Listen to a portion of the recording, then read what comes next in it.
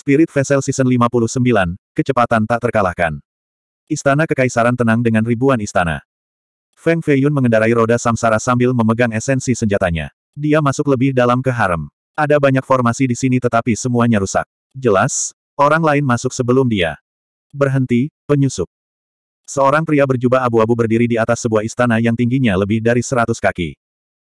Dia membawa pedang besi di punggungnya, dan matanya tampak kosong, seolah-olah ada dua mutiara hitam tertanam di rongga matanya, benar-benar kusam dan tak bernyawa. Meski penampilannya biasa saja, kekuatannya tidak bisa diremehkan. Dia telah mencapai level setengah langkah awal. Setengah langkah adalah ranah besar yang terbagi menjadi awal, menengah, dan akhir. Kesenjangan antara ketiga level ini cukup besar. Kecuali seseorang sangat berbakat, akan sangat sulit untuk bertarung melawan seseorang dengan level yang lebih tinggi. Feng Feiyun tidak berhenti dan bertanya, kamu berasal dari sekte mana? Kamu berani memasuki harem terlarang. Saya bukan anggota sekte mana pun. Dunia ini luas, saya bisa pergi ke mana saja. Jenggot pria berjubah abu-abu itu panjangnya tiga kaki, dan suaranya agak menyeramkan. Mendengarkannya, itu akan menyebabkan hati seseorang menjadi kacau. Huff, apakah kamu berani mengatakan ini jika kaisar masih di sini? Feng Feiyun sangat menghina. Belum lagi setengah langkah seperti dia, bahkan makhluk tercerahkan tidak akan berani melangkah masuk dengan santai. Pria berbaju abu-abu itu berkata tanpa emosi, Berat, aku tahu siapa kamu. Jangan berpikir bahwa hanya karena kamu disebut jenius nomor satu dinasti Jin, kamu dapat bersaing dengan generasi yang lebih tua. Orang tua ini telah berkultivasi selama 640 tahun, dan telah mengalami tidak kurang dari 10.000 pertempuran. Untuk bisa melawan sepuluh ribu pertempuran tanpa mati, bagaimana bisa seorang junior sepertimu membandingkannya? Aku juga tahu siapa kamu. Langkah Feng Feiyun seperti naga yang sedang berenang. Dia tiba di bawah pria itu dan memasuki domain uniknya. Seolah-olah dia berjalan ke rawa berlumpur. Tubuhnya menjadi agak lamban. Raksasa setengah langkah mana pun pasti telah mengembangkan domain. Domain ini sangat mirip dengan gambar ki para jenius. Jika mereka bisa memadukan gambar ki mereka dengan domain, mereka akan menjadi lebih kuat. Alasan mengapa raksasa setengah langkah disebut ini adalah karena pembentukan wilayah pertempuran. Kau tahu siapa aku? Pria berbaju abu-abu itu sedikit terkejut. Kamu mengolah dao angin jahat, dan matamu telah dimurnikan menjadi mutiara awan darah. Jelas bahwa kamu berasal dari alam gelap dao jahat. Kamu harus menjadi salah satu tetua agung dari alam gelap, kan? Alam kegelapan dan klan Beiming selalu berteman baik. Plus, pengalaman Feng Feiyun memungkinkannya untuk menebak identitas lelaki tua ini. Sementara pria itu terganggu, Feng Feiyun menggunakan Swift Samsaranya secara maksimal. Tubuhnya berubah menjadi embusan angin sementara esensi senjatanya menembus ke depan seperti sambaran petir. Pria berjubah abu-abu itu ngeri. Seorang junior sebenarnya secepat ini. Matanya hampir kabur. Dia menggunakan kemampuan ilahi kecepatan dari jalan yang rusak untuk pergi jauh. Tapi esens senjata surgawi telah meninggalkan bekas darah di dadanya. Itu hampir menembus hatinya. Pria berbaju abu-abu itu merasakan hawa dingin di punggungnya. Pada saat yang sama, suara logam yang merobek angin terdengar lagi. Kali ini, dia tidak bisa melihat lawan sama sekali. Dua mutiara hitam jatuh dari rongga mata pria itu yang cekung. Ini awalnya adalah bola matanya, tetapi setelah dia mengolah mutiara awan darah, bola matanya menyerap terlalu banyak darah dan menjadi hitam. Kedua bola mata berubah menjadi dua awan darah. Salah satu awan darah berbentuk seperti danau darah bundar, sedangkan yang lainnya berbentuk seperti danau darah setengah bulan. Ini adalah jenis teknik jahat yang menentang surga yang membutuhkan pemurnian darah lebih dari seribu orang untuk berhasil berkultivasi. Kekuatannya tidak kecil sama sekali. Itu langsung menghancurkan kedua istana ke samping dan meruntuhkannya ke tanah. Tanah ditutupi puing-puing dan batu pecah. Dan ini hanya kekuatan mutiara darah. Feng Feiyun tidak takut meski menghadapi setengah langkah. Seekor naga putih terbang keluar dari esensi senjata. Panjangnya lebih dari 10 meter dan menembus awan untuk menyerang pria berdada abu-abu itu. Ledakan. Kabut berdarah meletus. Tiga tulang rusuk pria itu patah. Jubahnya tercabik-cabik saat darah jatuh dari lukanya. Suara pertempuran mengingatkan para selir di harem. Kebanyakan dari mereka memiliki sedikit kultivasi, tetapi tidak tinggi. Mereka terbang keluar dari istana mereka dan melihat gelombang kejut pertempuran di kejauhan dengan keterkejutan yang tak terlukiskan. Mengapa ada pertempuran di harem? Di mana para ahli yang menjaga harem? Mengapa Kaisar Jin tidak menekan mereka dari jauh? Gelombang energi menghantam leher seorang selir yang cantik. Setengah dari leher seputih saljunya terpotong, menyebabkan darah menyembur keluar seperti air mancur. Dia berjuang di tanah untuk waktu yang lama, tetapi dia bahkan tidak punya waktu untuk meminum pil roh sebelum dia mati sama sekali tanpa suara. Ini hanya akibat dari serangan itu. Ketika selir lain melihat ini, wajah mereka menjadi pucat dan mereka semua melarikan diri jauh. Hanya beberapa selir dengan kultivasi yang kuat yang masih menonton dari jauh. Mereka semua berasal dari Sekte Langit yang kuat dan mengembangkan teknik pamungkas. Tingkat kultivasi mereka sendiri tinggi. Seorang selir dengan kulit seputih salju berkata, yang satu adalah Raja Ilahi sementara yang lain menggunakan hukum jasa sesat. Dia adalah raksasa setengah langkah. Kakak Suefei, haruskah kita membantu God King mengusir musuh? Selir lain berbaju merah muda bertanya. Kultivasinya juga cukup tinggi. Gerakannya membawa ritme dao yang indah. Permaisuri Sue menggelengkan kepalanya, saya mendengar dari Permaisuri Beiming bahwa Kaisar Jin telah pergi ke tanah suci kerajaan untuk pengasingan. Begitu Kaisar baru naik tahta, kami akan dibawa ke sana juga, tidak pernah keluar lagi. Jelas bahwa ini adalah perebutan kekuasaan antara Kaisar baru. Lebih baik jika kita tidak terlibat. Jika kita membantu orang yang salah secara tidak sengaja, kita tidak hanya akan mati tanpa tempat pemakaman, bahkan keluarga di belakang kita akan terlibat. Selir ini sangat kuat tetapi mereka tidak berani mengambil tindakan karena takut menyinggung orang lain. Mereka telah kehilangan kekuasaan setelah Kaisar turun tahta. Jika mereka tidak tahu bagaimana melindungi diri mereka sendiri, mereka akan mati. Setiap perebutan kekuasaan berdarah, dan banyak orang akan mati. Eselon atas keluarga kerajaan selalu menutup mata terhadap perjuangan semacam ini, karena hanya pihak yang muncul sebagai pemenang dalam perebutan kekuasaan yang merupakan pihak yang paling kuat. Mereka hanya bisa merasa nyaman jika dinasti diserahkan kepada orang seperti itu. Yang mereka butuhkan adalah penguasa yang kuat dan tegas, bukan pengecut yang lemah dan tidak kompeten. Feng Feiyun belum genap 20 tahun tapi dia sudah bisa bertarung melawan raksasa setengah langkah. Esensi senjatanya misterius dan tajam. Itu menembus udara dan meninggalkan sembilan bekas darah pada pria berjubah abu-abu itu. Feng Feiyun masuk lebih dalam ke harem. Setiap langkah disertai dengan tebasan. Penatua tertinggi ini yang dua tingkat lebih tinggi darinya tidak bisa melawan sama sekali. Semakin banyak luka muncul di tubuhnya. Setiap langkah meninggalkan jejak berdarah di tanah. Apakah ini yang kamu capai setelah hidup selama 640 tahun? Aku bahkan belum berkultivasi selama enam tahun namun aku bisa membunuhmu ribuan kali lipat. Feng Feiyun menyingkirkan esensi senjatanya dan menyalurkan semua kekuatannya. 9.998 jiwa binatang muncul di lengannya. Dia mengambil dua langkah ke depan dan membanting pria berjubah abu-abu itu. Pluf! Pria berjubah abu-abu itu terhuyung-huyung dan hampir berlutut di tanah setelah menahan serangan yang menghancurkan bumi dari Feng Feiyun. Dia dikalahkan oleh seorang pemuda yang bahkan belum genap 20 tahun, dan dengan cara yang begitu menyedihkan saat itu. Pria itu masih ingin melawan, tapi telapak tangan Fei Yun turun dan langsung memaksanya untuk berlutut di tanah. Kedua tangannya mendorong ke tanah, menyebabkan retakan muncul di tanah seperti jaring laba-laba yang padat. Suara mendesing. Dengan kilatan pedang, kepala berdarah terbang keluar dan menabrak tembok istana merah dengan keras. Kemudian, itu menggelinding di tanah seperti bola. Raksasa setengah langkah dibunuh oleh pedang Feng Feiyun. Para selir di kejauhan saling melirik dan menatap Feng Feiyun. Dia bahkan lebih kuat dari Kaisar Jin ketika dia masih muda. Aura pembunuhnya memaksa mereka mundur. Feng Feiyun menegakkan tubuhnya dan melirik mereka sebelum bergegas lebih dalam ke harem. Para selir mengikuti di belakang Feng Feiyun dan berkata, sepertinya sesuatu yang besar sedang terjadi di sana. Mari kita periksa juga. Mereka tidak berani berada di depan Feng Feiyun. Tidak ada yang tahu jika ada bahaya lain di depan. Awan hitam naik dari istana saat lima lelaki tua bergegas keluar. Mereka semua adalah Kasim yang kuat yang mengenakan jubah berwarna merpati. Wajah mereka putih dan tidak berjanggut. Energi in mereka kental saat mereka menyerang Feng Feiyun pada saat bersamaan. Setidaknya 20 teknik diarahkan ke kepala Feng Feiyun. Kasim tua ini disuap oleh klan Beiming. Beberapa dari mereka adalah mata-mata di istana. Kamu pengadilan kematian. Esensi senjata Feiyun berubah menjadi lebih dari seribu pedang putih. Mereka tampak seperti hujan cahaya putih, terbang lurus ke arah musuh. Semua teknik ditembus dan istana runtuh. Mayat lima Kasim tua jatuh dari langit. Tubuh mereka penuh dengan lubang berdarah seperti sarang lebah. Ekspresi Feng Feiyun menjadi lebih dingin saat dia berjalan melewati reruntuhan. Dia dengan cepat menuju ke lima istana besar di tengah. Istana-istana itu memiliki mutiara putih di atasnya seperti lima gunung. Feng Feiyun pernah ke sini sebelumnya dan bertemu Jiling Xuan di salah satu istana. Tidak butuh waktu lama baginya untuk menemukan yang dibicarakan Permaisuri Luo. Istana ini berada di bawah kendali klan Beiming. Setidaknya ada seratus pembudidaya di sini. Lebih dari 20 gambar ki melonjak ke langit dengan energi pertempuran. Bau darah yang menyengat menyebar ke udara. Feng Feiyun tidak takut. Dia tidak akan ragu bahkan jika itu adalah sarang naga atau sarang harimau. Saat dia memasuki level pertama, dia melihat mayat berserakan di tanah. Darah mengalir ke sungai, semuanya adalah Kasim dan pelayan. Lima pembudidaya berjubah hitam sedang memeriksa mayat-mayat ini. Mereka akan membunuh siapa pun hidup-hidup. Bab 582 Membobol harem adalah kejahatan yang sangat tidak dihargai. Tidak ada yang bisa dibiarkan hidup. Mati. Ada satu lagi di sini, masih pada nafas terakhirnya. Seorang kultivator berjubah hitam dengan tatapan tajam di matanya memenggal kepala seorang pelayan istana sekarat yang tergeletak di tanah. Kekuatan permaisuri Luo tidak kecil. Para pelayan dan Kasim di bawah komandonya semuanya ahli. Perlawanan mereka cukup ulet. Aku ingin tahu apakah Yang Mulia telah menangkapnya.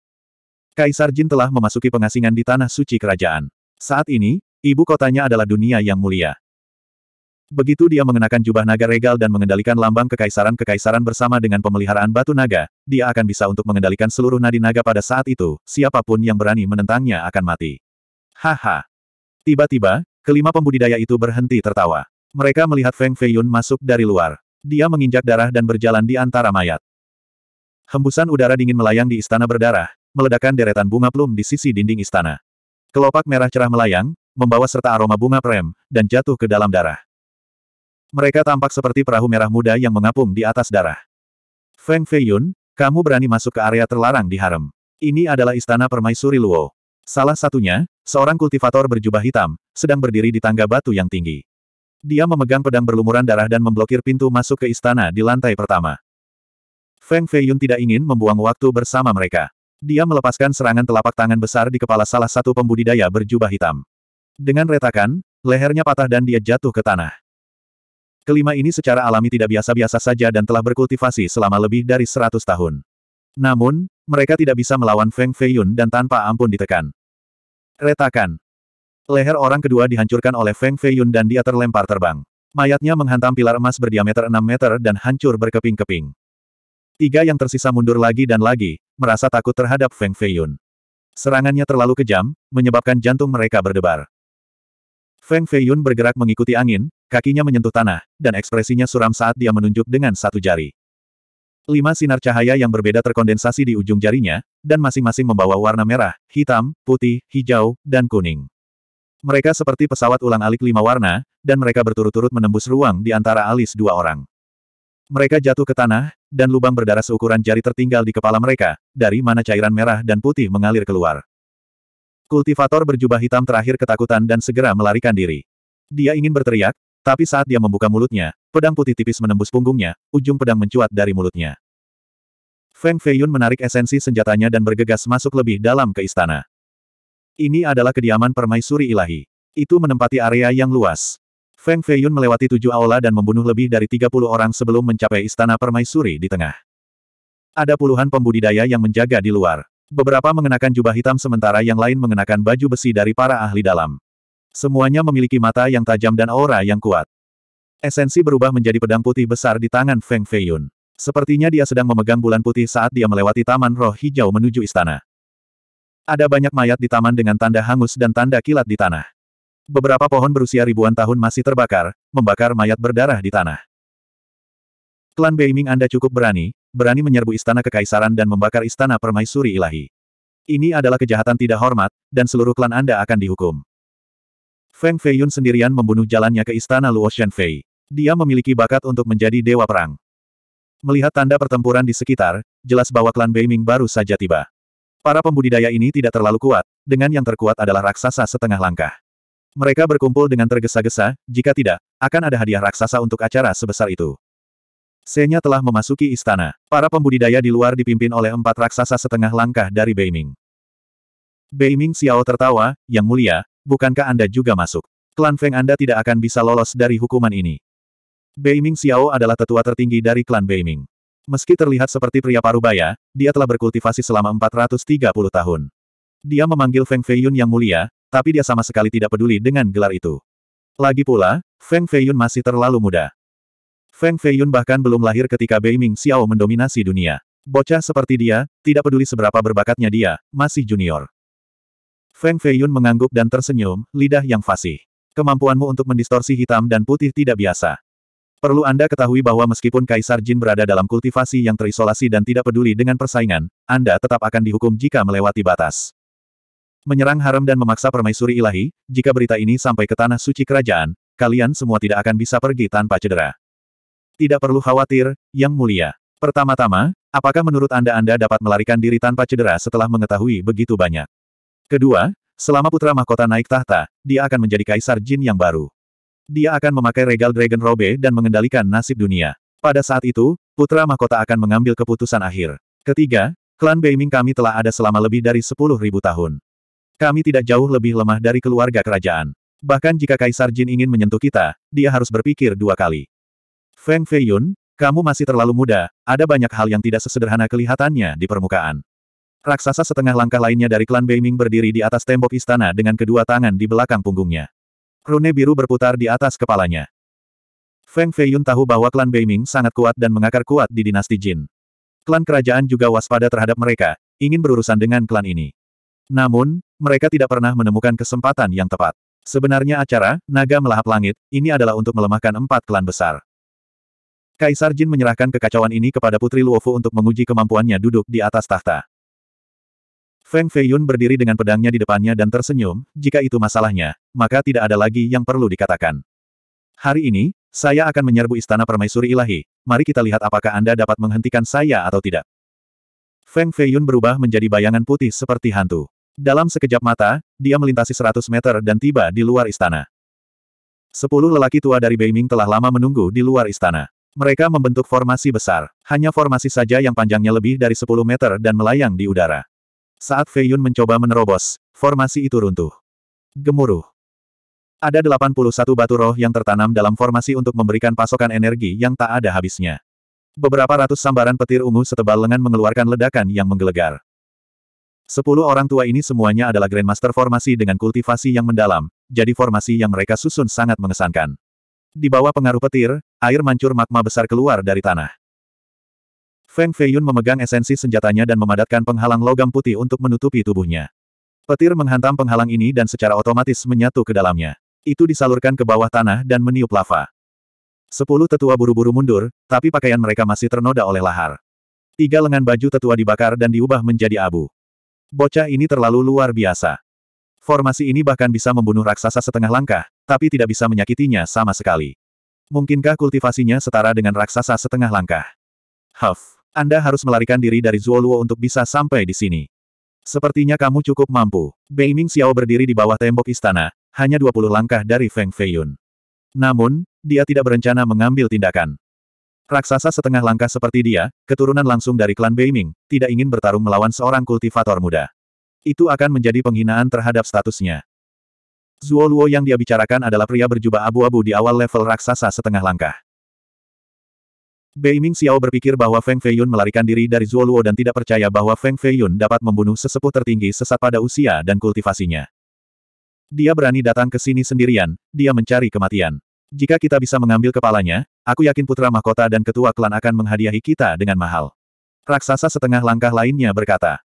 Beberapa pembudidaya dari klan tergoda. Membunuh Feng Feiyun akan menjadi pahala yang besar. Mereka bahkan mungkin dihargai dengan 10 tahun kultivasi di alam rahasia klan. Aku akan mengambil nyawanya. Seorang pria kurus tiba-tiba bergegas keluar. Dia berada di tingkat kelima dari mandat surga. Istana ungunya terbuka dan tombak yang patah terbang keluar. Panjangnya hanya sekitar satu meter dan masih berkarat. Namun, bagian yang rusak itu halus dengan rune yang mengalir di sekitarnya. Ini adalah harta roh peringkat kedua yang rusak. Meskipun rusak, ia masih memiliki spiritualitas dan formasinya sendiri. Setelah pemulihan selama 200 tahun, tombak ini telah mendapatkan kembali sekitar 30% kekuatannya. Kekuatannya sebanding dengan harta roh peringkat pertama. Tombak ini adalah senjata paling ampuh dari hutan Laut Utara. Kekuatan harta rohnya benar-benar dilepaskan. Kekuatan yang menghancurkan bumi meledak, meruntuhkan tembok istana dan menciptakan retakan besar di tanah.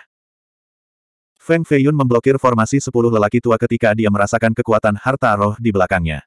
Alisnya sedikit berkerut saat sinar hitam terbang keluar dari jarinya. Itu adalah sebuah cincin. Ledakan. Energi roh yang lebih kuat melonjak dan langsung menghancurkan tombak menjadi beberapa bagian. Itu terbang kembali dan menembus tubuh hutan Beiming.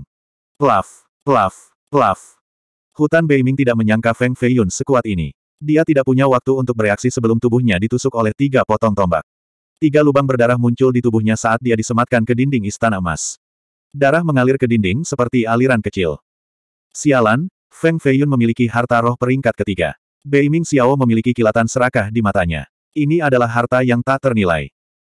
Meskipun dia adalah raksasa setengah langkah, dia masih belum memiliki harta roh. Lagi pula, Klan Beiming memiliki terlalu banyak ahli dan terlalu sedikit harta roh. Dia tidak memenuhi syarat untuk memilikinya, belum lagi peringkat ketiga. Dia bahkan tidak memiliki peringkat pertama.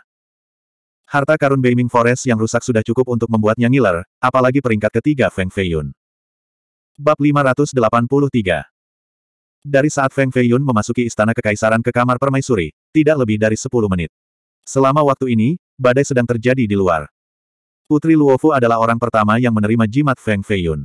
Dia menonton dari bawah panggung, tapi setelah melihatnya, ekspresinya berubah dengan cepat. Dia dengan cepat memimpin para pembudidaya dan pejabat di belakangnya menuju istana. Ibu, itu tidak baik. Sang putri memasuki istana sendirian dengan kecepatan ekstrim. Setiap langkah membentang 10 meter.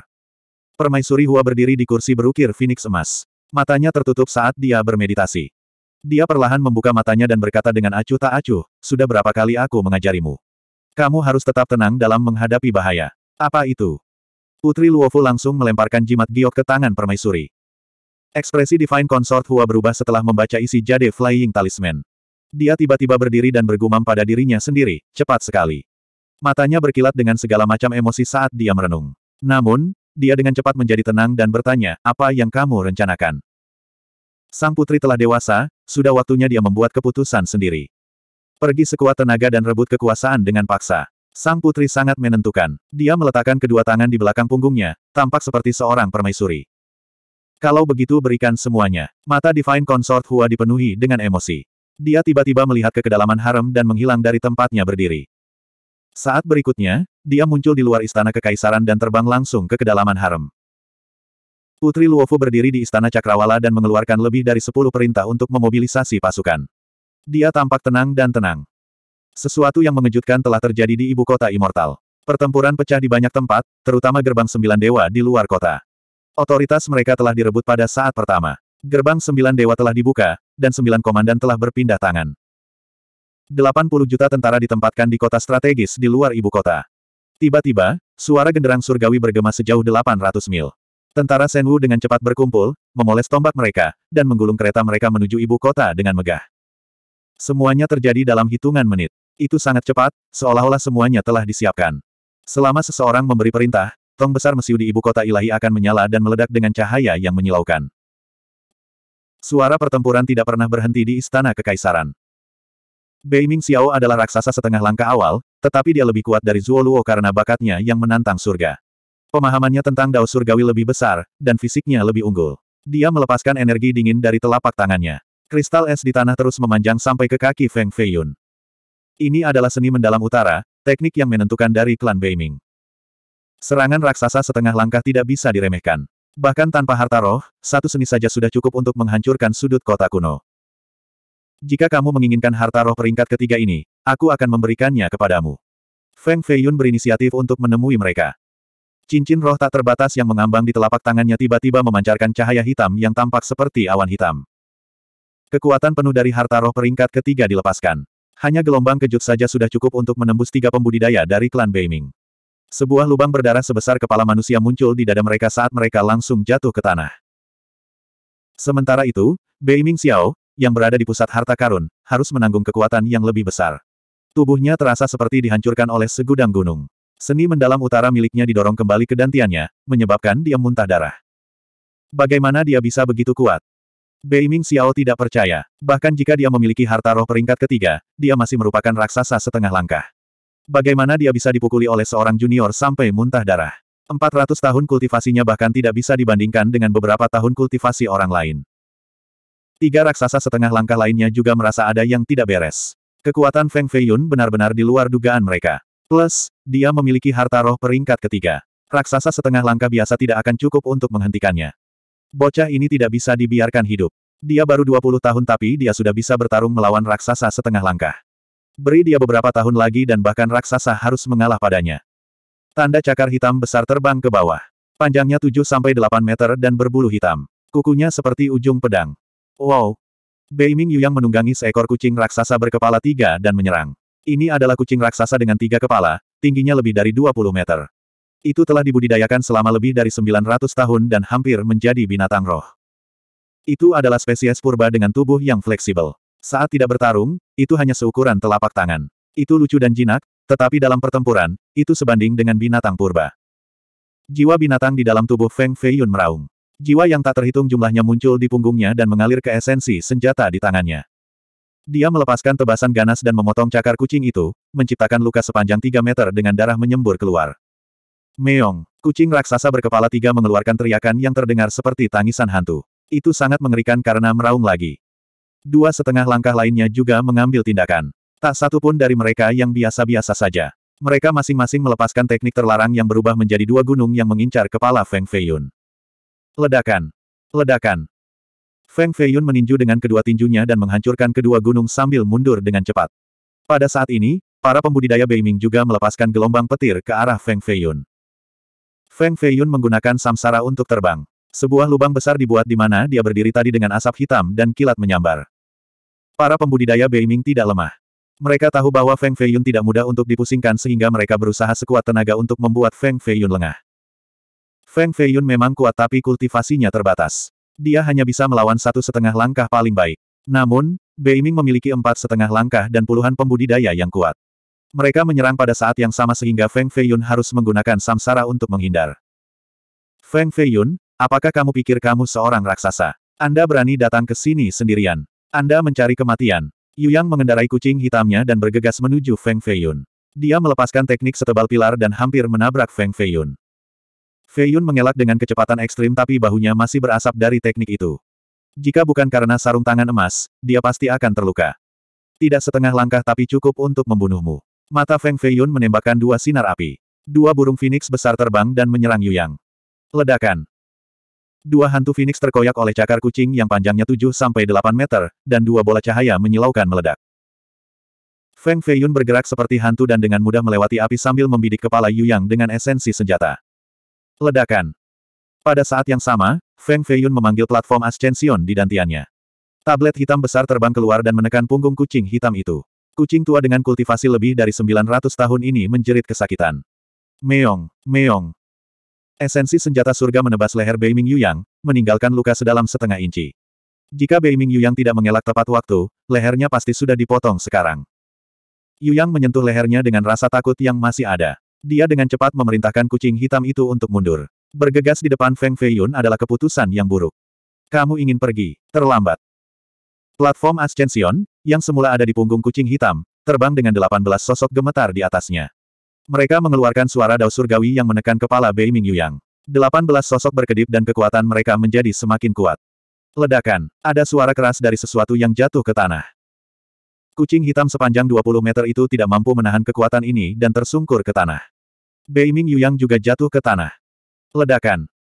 Dia ingin melompat tetapi kekuatan mengerikan datang dari dadanya dan mendorongnya kembali ke bawah. Fei Yun menginjak dada pria itu, menyebabkan suara tulang patah. Kakinya hampir tenggelam. Sekarang kamu tahu siapa yang mengejar kematian. Feng Fei Yun tanpa ampun. Jika dia memiliki sedikit kebaikan saat ini, dia akan mati untuk orang-orang ini. Ledakan. Dia menghancurkan hati Yuyang dengan satu hentakan. Sepatu Feng Fei Yun berlumuran darah saat keluar dari dada Yuyang. Ujung sepatu itu masih berlumuran darah. Raksasa setengah langkah dibunuh oleh Feng Fei Yun begitu saja.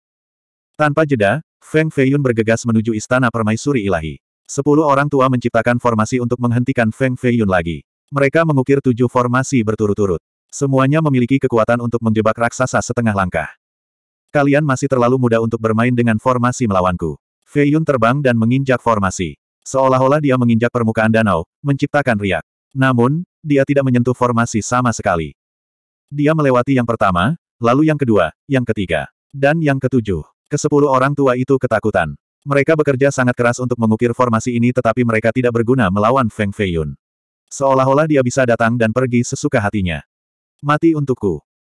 Feng Feiyun melambaikan lengan bajunya dan esensi senjata surgawi berubah menjadi lebih dari seribu pedang seukuran telapak tangan. Mereka berubah menjadi hujan pedang yang langsung menusuk sepuluh lelaki tua itu. Lebih dari seratus lubang muncul di tubuh mereka saat mereka jatuh ke genangan darah. Para pembudidaya Beiming berada tepat di belakangnya, tetapi mereka dihentikan oleh tujuh formasi. Yi masih berusaha untuk menghancurkan mereka. Fei Yun bergerak secepat kilat dan langsung memasuki kamar permaisuri Luo. Dia menendang membuka pintu dan menatap pemandangan di dalam dengan ekspresi serius. Bab 584 Selain Kaisar Jin, tidak ada pria normal yang bisa memasuki kamar permaisuri ilahi. Bahkan jika ada, itu akan menjadi Kasim. Ini adalah hukum besi istana kekaisaran. Bahkan pangeran dan putra mahkota pun tidak bisa melanggarnya. Pintunya diukir dari batu giok, dan pilar-pilarnya sangat tebal sehingga bahkan sepuluh orang pun tidak dapat mengelilinginya. Dindingnya terbuat dari emas dan tembaga, dan ubinnya terbuat dari kaca kristal. Hanya empat selir ilahi yang dapat tinggal di tempat yang begitu mewah, dan mereka dilindungi oleh penguasa istana dalam yang kuat. Namun, semuanya sudah mati. Di dalam ruangan itu ada kuali perunggu setinggi setengah orang. Di dalamnya ada aroma anggrek putih yang membara. Itu adalah wewangian yang paling mulia, tapi tidak bisa menyembunyikan bau darah di dalamnya. Itu sangat pedas. Feng Feiyun berdiri di luar pintu dengan mata membeku. Dia melihat seorang wanita penggulingan kerajaan terbaring di genangan darah dengan pedang besi menembus dadanya. Darahnya menodai jubah sifonnya menjadi merah. Ini adalah wanita yang sangat cantik. Meski sudah meninggal, keanggunan dan kecantikannya tidak bisa dibandingkan dengan kosmetik biasa. Dia adalah selir ilahi Luo, kombinasi antara kecantikan dan status. Selir ilahi Luo tidak berpartisipasi dalam perebutan kekuasaan tetapi dia masih mati karenanya. Dia hanya bisa menyalahkan dirinya sendiri karena terlalu banyak bicara. Jika dia tidak memberitahu pemimpin klan Luo tentang rahasia dekrit kekaisaran, berita itu tidak akan bocor dan dia tidak akan mati. Oleh karena itu, tidak peduli seberapa cantik seorang wanita, tidak peduli seberapa berpengaruh dia, tidak peduli seberapa kuat dia, jika dia berbicara terlalu banyak, dia akan mendekati kematian.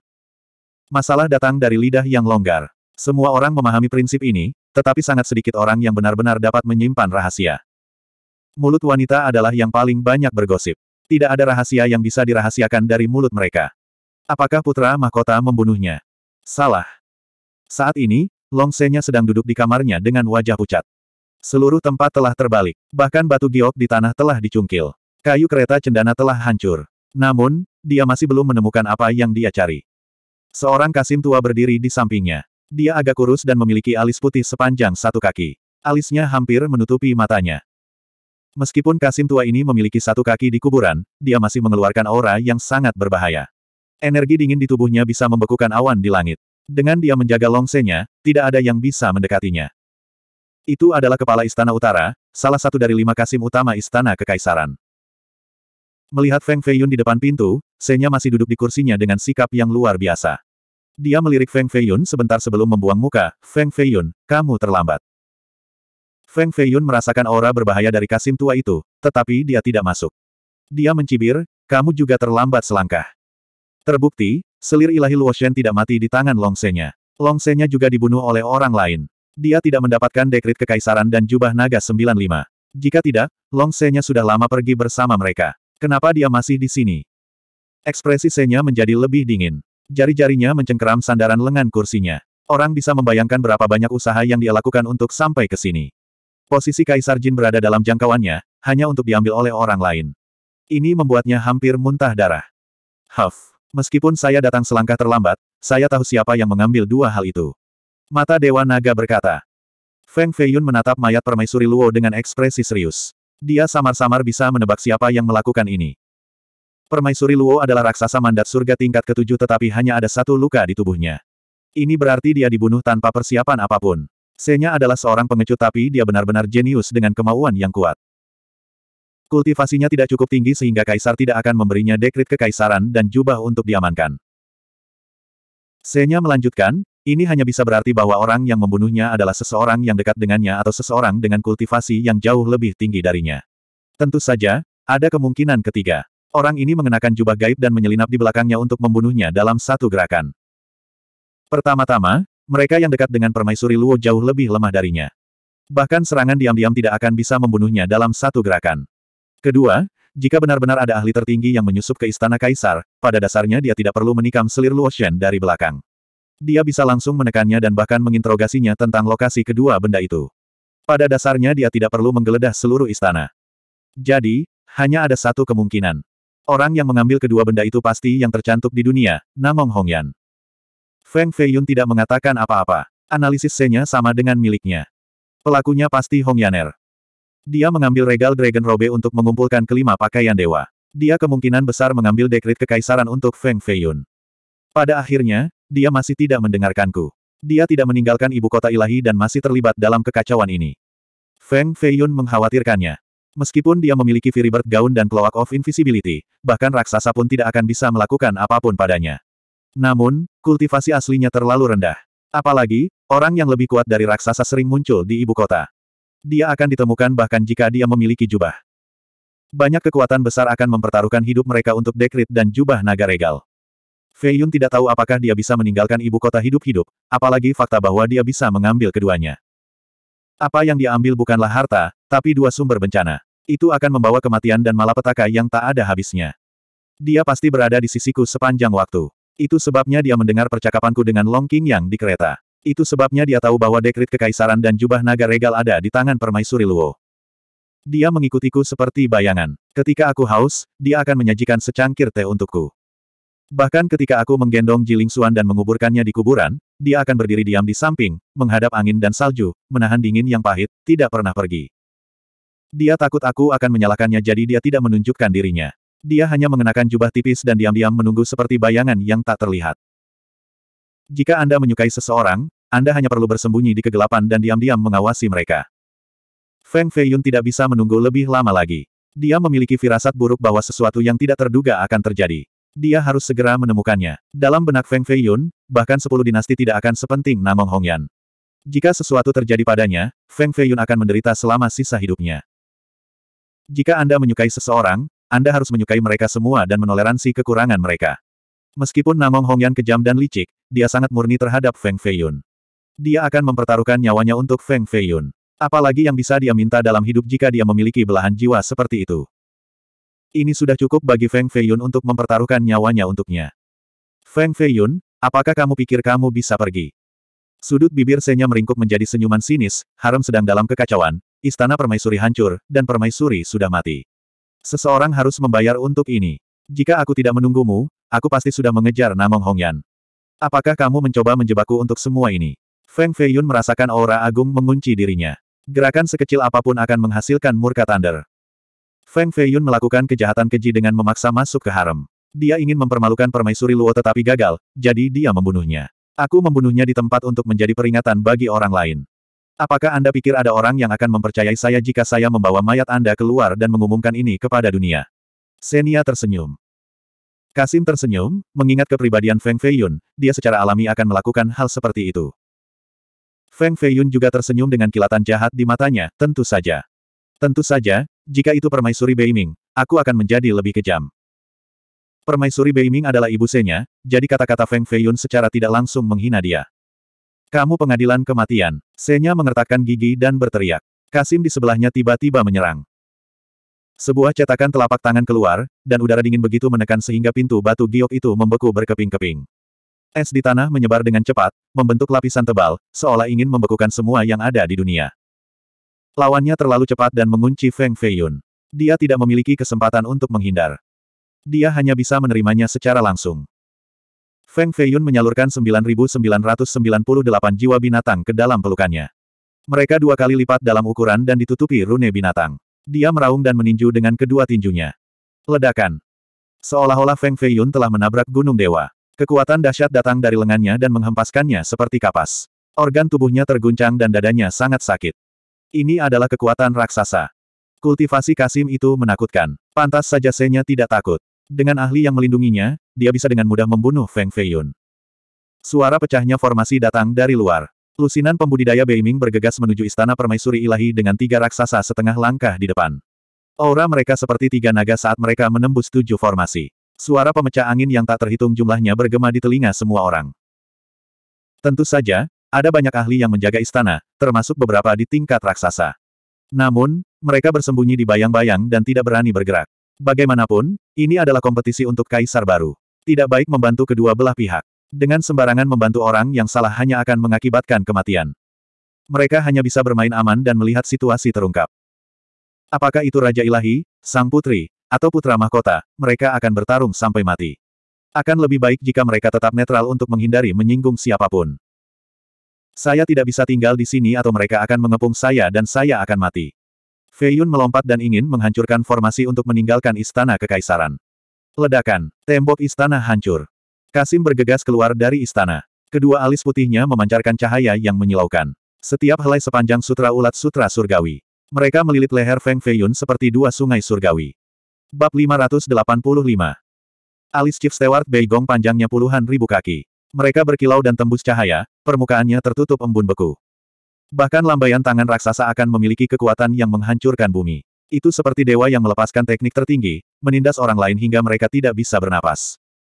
Feng Feiyun tidak punya pilihan selain mundur lagi. Kalau tidak, lehernya akan diremukkan oleh kedua alisnya. Suara mendesing. Tiga raksasa setengah langkah dari Beiming bergegas masuk dengan aura yang menindas. Aura mereka menyerupai tiga pedang menjulang yang menghalangi jalan Feng Feiyun. Di kejauhan, ada puluhan pembudidaya berdiri di arah yang berbeda. Semuanya memiliki teknik di tangan mereka, siap menyerang kapan saja.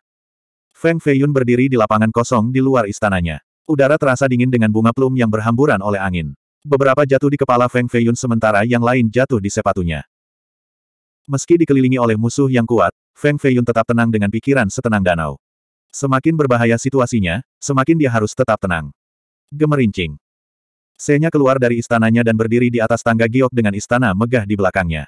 Dia tersenyum dan berkata, Feng Feiyun, kamu tidak akan bisa melarikan diri hari ini. Setelah kamu mati, aku akan menangkap Namong Hongyan dan mengambil jubah naga regal dan dekrit darinya. Kemudian, aku akan naik tahta dan dia akan menjadi permaisuri ilahi saya. Dia pasti akan mendapat tempat di harem saya. Senya sengaja ingin memprovokasi Feng Feiyun. Kecerdasan dan kecerdasan orang ini adalah yang terbaik. Jika dia sedikit lebih berani, maka dia pasti akan menjadi kaisar masa depan. Feng Feiyun tersenyum, Longsenya, apakah kamu tahu mengapa kamu lebih rendah dari Putri Luofu? Saya akan jujur kepada Anda, dekrit dari Kaisar Jin sebenarnya mencantumkan namanya. Feng Feiyun secara alami tidak mengetahui isi dari dekrit tersebut dan hanya membalas terhadap Senya. Itu tidak mungkin. Aku diberkati oleh surga, dan aku dianugerahi gelar putra mahkota 10 tahun yang lalu. Namaku harus ada dalam dekrit kekaisaran. Wajah Longsenya suram, hampir mengaum. Semakin dia peduli dengan isi dekrit tersebut, semakin menunjukkan ketidakpercayaannya. Kamu tidak sebaik Putri Luofu, ini adalah fakta yang tak terbantahkan. Kaisar Jin mengirimkan dekrit kepada Permaisuri Hua dan memberikan kereta kekaisaran kepada Putri Luofu. Ini adalah indikasi yang jelas dari niatnya. Feng Feiyun melanjutkan. Mata Senya berkedip karena ketidakpastian. Tiba-tiba, dia tertawa terbahak-bahak, haha. Feng Feiyun, Anda hanya mencoba mengulur waktu dan menunggu seseorang menyelamatkan Anda. Sayangnya, saya tidak akan memberi Anda kesempatan itu. Bunuh dia untukku. Ledakan. Sebuah aula istana runtuh. Awan ilahi turun dari langit. Permaisuri Hua mengenakan mahkota burung phoenix, terlihat anggun dan elegan. Dia melambaikan lengan bajunya dan menerbangkan dua pembudidaya dari klan Beiming. Tangan putih gioknya terulur dan langsung menghancurkannya menjadi bubuk. Dia mengembangkan kitab suci pembersihan sumsum -sum tertinggi. Ini adalah kitab suci tertinggi dengan kekuatan yang tak terlukiskan. Setiap gerakannya memiliki kekuatan untuk menghancurkan dunia. Bagaimanapun, dia adalah permaisuri ilahi. Sebelum menikah dengan Kaisar Jin, dia sudah menjadi seorang jenius yang tak tertandingi. Setelah memasuki istana kekaisaran, dia semakin disayangi dan menikmati sumber daya yang tak terhitung jumlahnya. Dia juga memiliki bimbingan pribadi Kaisar Jin, jadi kultivasinya secara alami berkembang pesat. Permaisuri Hua tiba dengan aura surgawi tertinggi. Ini adalah aura model dunia keibuan, memaksa para pembudidaya dari klan Beiming untuk mundur. Feng Feiyun menjadi tenang. Bala bantuan akhirnya tiba. Ini bagus. Dengan kultivasinya, bahkan raksasa seperti petugas umum Beigong mungkin bukan tandingannya. Namun, pada saat ini, awan biru muncul di atas istana emas setinggi 100 meter. Di dalam awan, tangan ramping seputih salju menghalangi jalan permaisuri Hua. Istana terapung tidak jauh dari sini, hanya sekitar 10 mil jauhnya. Ini adalah istana permaisuri Beiming. Permaisuri Beiming berdiri di atas istana dengan kulit seputih salju. Rambutnya yang hitam panjang tergerai di bahunya. Panjangnya 3-4 meter dan berkibar tertiup angin. Dia adalah kecantikan yang luar biasa seperti gadis giok yang turun dari sembilan langit. Tangannya menari-nari seolah sedang memegang galaksi saat dia bergegas menuju Permaisuri Hua. Permaisuri Beiming adalah putri Beiming Mosou. Dia dulunya adalah yang tercantik dari klan Beiming. Sebelum menikah dengan Kaisar Jin, dia sudah menjadi raksasa setengah langkah. Serangannya menghancurkan bumi dan menyebabkan setengah dari istana kekaisaran bergetar. Aura Permaisuri Hua menindas saat dia terbang ke langit untuk melawan Permaisuri Beiming. Ketika dua selir ilahi bertarung, selir lainnya tidak bisa mengelak tepat waktu. Tidak ada yang berani terlibat. Awan dan kilat bergolak di langit. Kadang-kadang, akan ada suara gemuruh. Dua putri surga yang bangga sedang bertarung di langit, dan kekuatan yang mereka pancarkan cukup untuk membuat hati seseorang bergetar. Meskipun mereka berdua adalah permaisuri yang melayani pria yang sama, hubungan mereka sama sekali tidak harmonis. Sebaliknya, mereka seperti musuh. Lebih tepatnya, jika seorang pria memiliki lebih dari dua wanita, maka para wanita ini tidak akan akur. Mereka akan bertarung secara terbuka dan diam-diam, merencanakan dan membuat rencana untuk membunuh wanita lain. Selain itu, ini adalah persaingan untuk posisi kaisar baru. Ini adalah pertempuran yang berbahaya sampai mati. Feng Feiyun, dengan ibuku di sini, permaisuri Hua bahkan tidak bisa melindungi dirinya sendiri. Mari kita lihat siapa lagi yang bisa menyelamatkanmu. Senya sangat percaya diri pada permaisuri Beiming. Dia tahu kultivasi ibunya lebih baik daripada orang lain. Dia mengangkat tangannya dan melambai, bunuh. Tiga setengah langkah mengambil inisiatif dan melepaskan serangan terberat mereka. Beiming Xiao telah menderita di tangan Feng Feiyun sebelumnya, jadi dia sangat membencinya. Serangannya juga yang paling ganas. Dia langsung mengeluarkan artefak yang terikat jiwanya, pedang hitam sepanjang 3 meter dengan lebar telapak tangan. Ada rune mengalir di atasnya, jelas tidak terbuat dari besi biasa. Suara mendesing. Pedang itu terbang dengan raungan menggelegar. Bei Mingtong juga mengeluarkan harta karun. Itu adalah segel Raja Hukum Biru seukuran batu kilangan. Gunung palsu disapu oleh segel dan langsung pecah dengan ledakan keras. Raksasa setengah langkah lainnya berfokus pada perbaikan fisik. Kulitnya memiliki kilau logam. Dia melangkah maju dan menghancurkan semua tanaman di kamar permaisuri menjadi bubuk. Mereka bertiga menyerang pada saat yang sama dengan sekuat tenaga. Mereka ingin membunuh Feng Feiyun dalam waktu sesingkat mungkin. Feng Feiyun menggunakan setengah langkahnya untuk melindungi dirinya saat menggunakan Ascension Platform dan Heavenly Weapon Essence untuk bertarung melawan tiga raksasa. Ledakan Feng Feiyun mengumpulkan kekuatan jiwa binatang buasnya dan melepaskan serangan telapak tangan melawan raksasa setengah langkah penyempurnaan fisik. Dampaknya menyebabkan darah keluar dari pori-pori musuh. Kultivator biasa dengan sepuluh niat suci tidak dapat melakukan sepuluh hal pada waktu yang bersamaan. Bahkan jika mereka melakukannya, mereka tidak akan mampu mengerahkan kekuatan penuh dari dua pikiran sekaligus. Hanya raksasa yang bisa melakukan dua hal sekaligus. Dia bisa mengambil dua artefak spiritual pada saat yang sama dan melepaskan kekuatan penuh dari dua artefak spiritual tanpa terpengaruh. Namun, Feng Feiyun hanya berada di mandat surga tingkat keempat namun dia bisa melakukan empat hal pada saat yang sama dan melawan tiga setengah langkah selain menggunakan cincin roh tak terbatas untuk melindungi dirinya sendiri. Kepala ajudan Beigong tidak mengambil tindakan dan hanya berdiri di pinggir, takut Feng Feiyun akan menyelinap pergi. Lagi pula, teknik gerakan Feng Feiyun cukup aneh. Jika dia melarikan diri, maka mereka tidak akan bisa menjebaknya lagi. Feng Feiyun dapat menghentikan tiga setengah langkah pada saat yang sama, bagaimana kultivasinya bisa begitu menakutkan. Apakah dia lebih kuat dari sepupuku? Senya sangat cemburu. Dia juga dianggap jenius sejarah, tetapi dibandingkan dengan Feng Feiyun, dia memucat jika dibandingkan. Ini karena niat sucinya sangat kuat dan dia bisa melakukan empat hal sekaligus. Namun, dalam hal kecakapan bertarung, dia mungkin tidak bisa mengalahkan Beiming bangsawan muda. Kata kepala ajudan Beigong. Lalu mengapa kamu tidak mengambil tindakan dan menekannya untuk menghindari lebih banyak masalah? Senya cemas. Yang paling dia pedulikan adalah dekrit dan jubah naga regal di tangan Hongyan. Dia harus mendapatkannya kembali sebelum dia melarikan diri dari ibu kota. Kepala ajudan Beigong menggelengkan kepalanya, tidak perlu bagi saya untuk melakukan apa pun. Ketiganya cukup untuk menekan Feng Feiyun. Meskipun Feng Feiyun dapat melakukan empat hal pada saat yang sama, dia hanya mandat surga tingkat keempat. Dia tidak akan cocok untuk tiga setengah langkah dan akan kalah sebentar lagi. Aku tidak bisa menunggu selama itu. Pergi dan tekan dia sekarang, aku ingin secara pribadi menghancurkannya di bawah kakiku. Kata Senya dengan tegas. Kepala ajudan Beigong tidak punya pilihan selain mengambil tindakan. Dia menyalurkan kekuatannya seperti naga yang bangkit. Ledakan. Pada saat yang sama, Feng Feiyun juga bergerak. Busur cahaya melintas di bawah kakinya saat dia mengelak ke kanan, menghindari serangan setengah langkah itu. Selanjutnya, dia menyalurkan esensi senjatanya, Ascension Platform, dan Infinite Spirit Ring dengan kekuatan penuh menuju Bei Ming Xiao. Dia terpesona dan menabrak istana sebelum jatuh ke reruntuhan. Mundurnya Bei Ming Xiao melonggarkan pengepungan, memungkinkan munculnya celah. Feng Feiyun menyalurkan Swift Samsara dengan kekuatan penuh dan berubah menjadi gumpalan asap, terbang keluar dari kamar permaisuri ilahi. Kepala ajudan Beigong menyerang dari belakang tetapi Feng Feiyun mengambilnya secara langsung dan terus berlari. Jika kepala ajudan Beigong tidak mengambil tindakan, Feng Feiyun tidak akan memiliki harapan untuk melarikan diri. Bahkan jika dia melakukannya, kepala pelayan akan memukulinya kembali. Namun, Feng Feiyun terlalu tenang, menyebabkan Senya merasa cemas. Inilah alasan mengapa dia mengirim kepala ajudan Beigong untuk mengambil tindakan. Feng Feiyun sedang menunggu kesempatan ini. Kepala ajudan Beigong akan terganggu begitu dia mengambil tindakan, jadi Feng Feiyun memanfaatkan momen ini untuk menghindari pengepungan. Masih ada beberapa pembudidaya dari klan Beiming yang ingin menghentikan Feng Feiyun, tetapi Feng Feiyun membunuh mereka dengan kecepatan kilat. Semuanya terbunuh, mayat mereka tergeletak di tanah. Aku bertanya-tanya bagaimana situasi di luar kota kekaisaran saat ini. Feng Feiyun seperti angin sepoi-sepoi saat dia terbang di atas istana. Kepala ajudan Beigong dan tiga raksasa setengah langkah semakin jauh di belakangnya. Raksasa biasa tidak bisa mengejar kecepatan Feng Feiyun saat ini. Begitu dia melarikan diri, akan sama sulitnya dengan mencapai surga untuk membunuhnya lagi. Bab 586 Ibu kota sedang mengalami perubahan besar. Api perang menyebar sejauh 9.000 mil. Pertempuran yang menghancurkan bumi terjadi di mana-mana. Asap mengepul dan menelan matahari di langit. Suara sengit pertempuran mengguncang bumi. Itu akan dihancurkan dan dibangun kembali. Dalam satu hari, langit dan bumi terbalik. Awalnya, itu masih merupakan pemandangan kedamaian dan kemakmuran, bernyanyi dan menari untuk merayakan perdamaian, tetapi sekarang, darah mengalir seperti sungai, dan suara pembunuhan memenuhi udara. Apa yang sedang terjadi?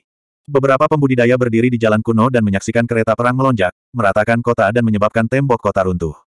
Kejutan di hati mereka tak terlukiskan, kaki mereka benar-benar tidak bisa bergerak. Ledakan. Di langit, dua pembudidaya yang kuat sedang bertarung. Sinar cahaya ditembakkan dan menghancurkan beberapa pembudidaya di tanah sampai mati. Perang ini datang terlalu tiba-tiba, di luar dugaan semua orang. Ini adalah pertempuran untuk otoritas. Tentu saja, ada juga beberapa sekte abadi yang tangguh yang bergerak secara rahasia, dan mereka hanya ingin membuat genangan air berlumpur ini semakin kacau, karena mereka berharap dunia berada dalam kekacauan. Meski banyak kekuatan besar ingin menghancurkan dan mengganti dinasti, orang bijak tahu bahwa fondasi dinasti masih kuat. Itu tidak akan runtuh dalam semalam. Jadi, tidak ada yang benar-benar mencoba merebut kekuasaan kekaisaran. Mereka hanya ingin memprovokasi perang ini dan mengobarkan api untuk merusak fondasi dinasti. Semakin sengit perang, semakin bahagia mereka dalam kegelapan. Ini adalah perebutan kekuasaan antara putra mahkota dan putri. Banyak orang ingin melihat kedua belah pihak menderita dan meruntuhkan fondasi dinasti. Di dalam kota kekaisaran, pemilihan pengantin pria dihentikan. Semua pembudidaya berlari keluar, menciptakan suasana kacau. Keajaiban segera diambil oleh pelindung Dao Tua. Mereka berlari keluar dari kota kekaisaran menuju ibu kota, ingin pergi sejauh mungkin. Ketertiban di ibu kota kacau balau. Tinggal di sini hanya akan mendekati kematian. Orang jenius tidak bisa mati. Dalam waktu dekat, para jenius ini akan tumbuh dan menjadi kekuatan terkuat yang dapat menghancurkan dinasti Jin. Tidak peduli seberapa kuat seorang kultivator, mereka masih sedikit lemah di depan tentara. Jika mereka tidak lari, bahkan raksasa akan dipaku sampai mati oleh tombak. Bagaimana situasinya? Feng Feiyun berlari keluar dari istana kekaisaran. Orang pertama yang dia temui adalah Putri Luofu. Dia duduk dengan tenang di dalam istana. Penggarap terus mengirimkan jimat giok ke tangannya. Setiap menit, jimat giok akan datang ke istana untuk melaporkan situasinya. Peta biru sepanjang 18 meter muncul di depan sang putri. Itu menggambarkan geografi dan formasi ibu kota. Ada juga banyak lokasi rahasia dan jalur penting dengan simbol khusus. Putri Luofu mengukir jimat dan membuangnya. Itu berubah menjadi sinar dan terbang keluar dari istana. Dia memberi perintah lain. Situasinya tidak baik. Rubah tua Beiming Mosou itu ingin menggunakan kekuatan untuk membantu putra mahkota berhasil. Sepertiga dari ibu kota berada di bawah kendali mereka. Sepertinya ini sudah direncanakan dan diam-diam telah memobilisasi pasukannya sejak beberapa hari. Yang lalu, jika mereka membobol kota kekaisaran, mereka pasti akan mencoba mengambil batu roh naga dan segel kekaisaran dengan paksa. Apakah Anda mendapatkan regal Dragon Robe dan dekritnya? Feng Feiyun sedikit menggelengkan kepalanya, seseorang sampai di sana lebih dulu. Jangan khawatir, itu bukan seseorang di pihak putra mahkota. Saat ini, saya khawatir putra mahkota seperti semut di wajan panas, ingin mengambil dua item ini kembali. Dekrit, mewakili legitimasi. Selama dia memilikinya, dia bisa dinobatkan sebagai kaisar hari ini. Jubah 95 naga, adalah simbol status kaisar dan representasi dari kekuatan absolut.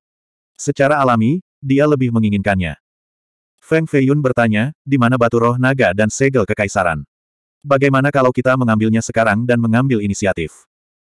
Feng Feiyun tidak ingin sang putri tahu bahwa Namong Hongyan yang mengambil dekrit dan jubahnya. Jika dia tahu, dia pasti akan diam-diam mengirim orang untuk memburunya.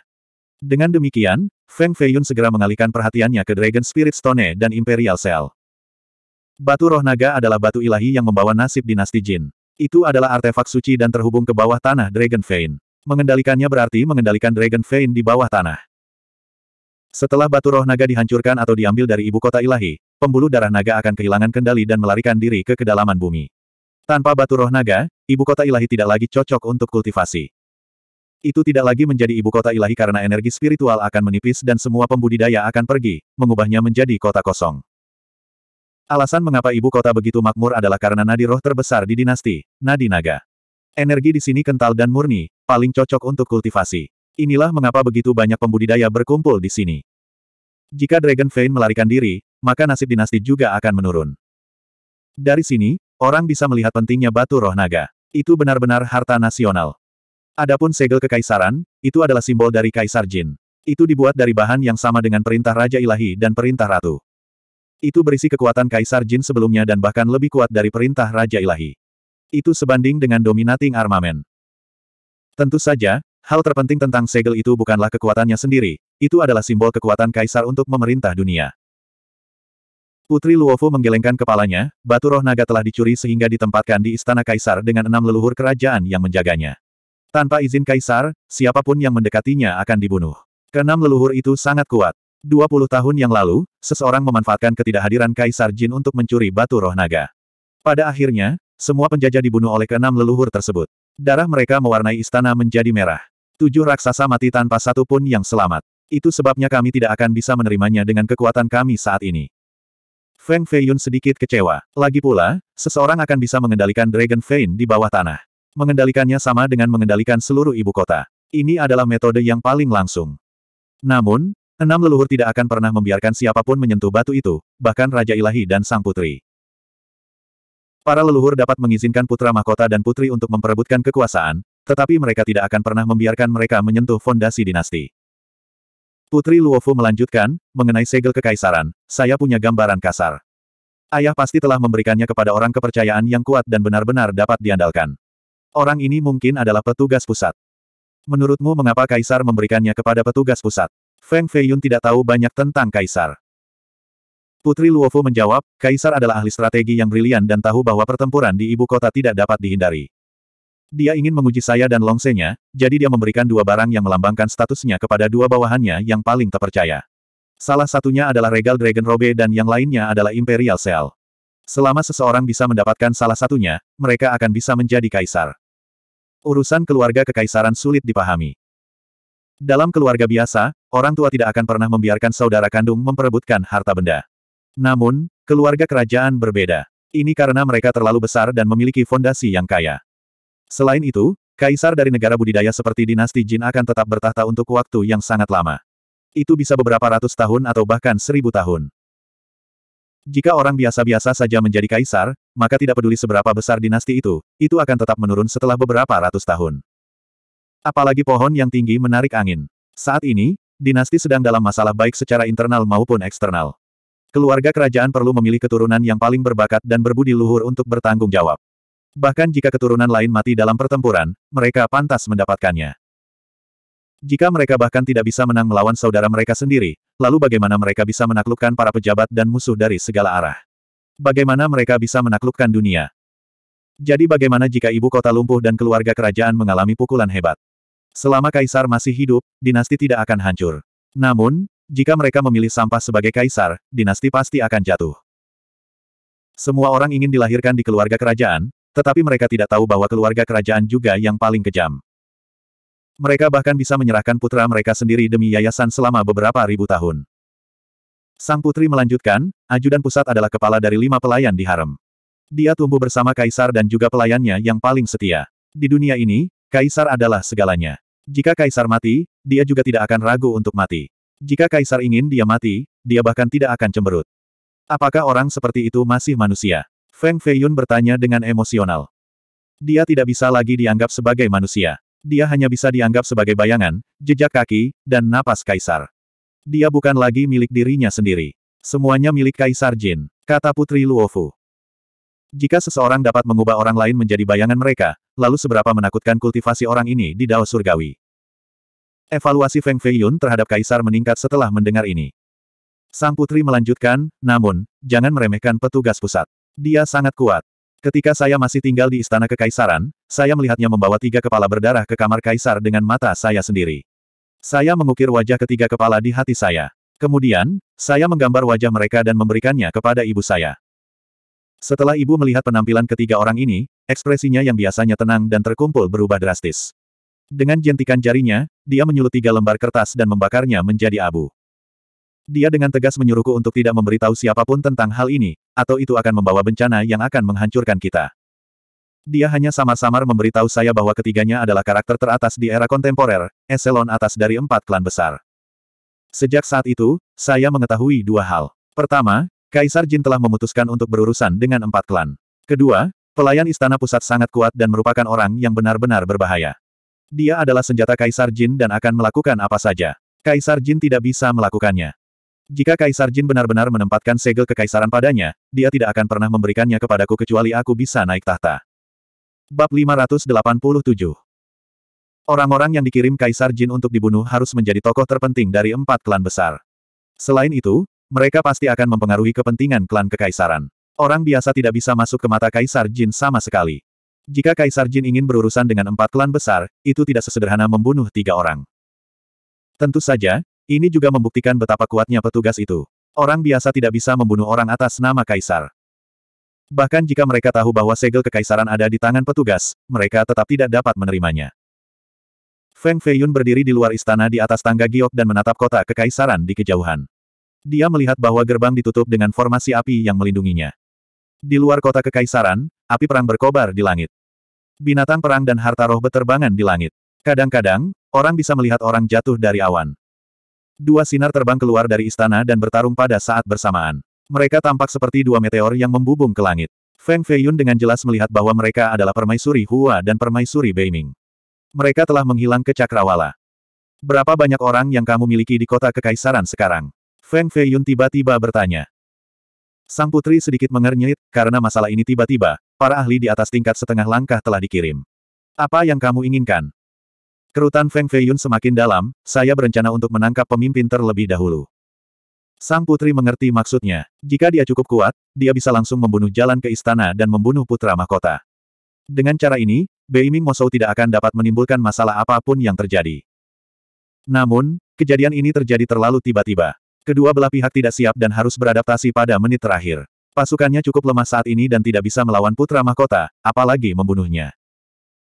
Hanya satu jam telah berlalu sejak kejadian itu, namun api perang telah tersulut di ibu kota. Orang biasa tidak akan bisa bereaksi terhadap perubahan drastis seperti itu dalam waktu sesingkat itu. Namun, sang putri dapat dengan tenang menghadapinya dengan tertib. Orang bisa melihat betapa bijaknya dia. Kalau begitu, kita harus segera meninggalkan kota kekaisaran. Feng Feiyun dengan cepat mengambil keputusan. Luofu menjawab, apakah kita akan menyerahkan kota kekaisaran ke Longsenya?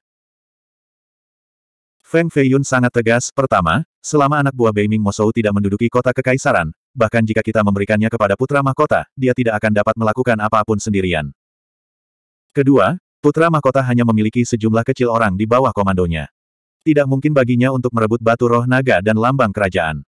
Ketiga, ada seorang ahli tingkat raksasa di sisi putra mahkota. Jika kita terus tinggal di sini, kita hanya akan menjadi makanan bagi mereka.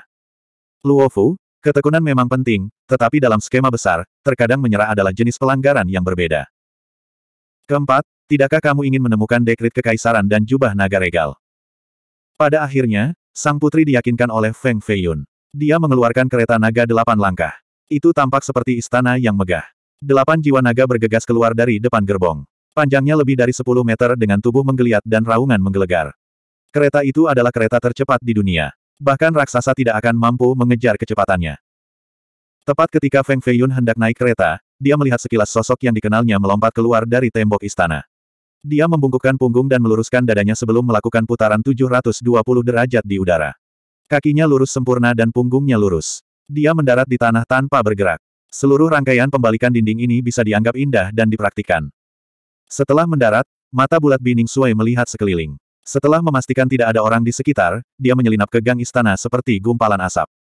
Bi Ning Suai. Tubuh Feng Feiyun bergerak dan menghilang dari luar istana. Detik berikutnya, dia mendarat di depan Ning Suai.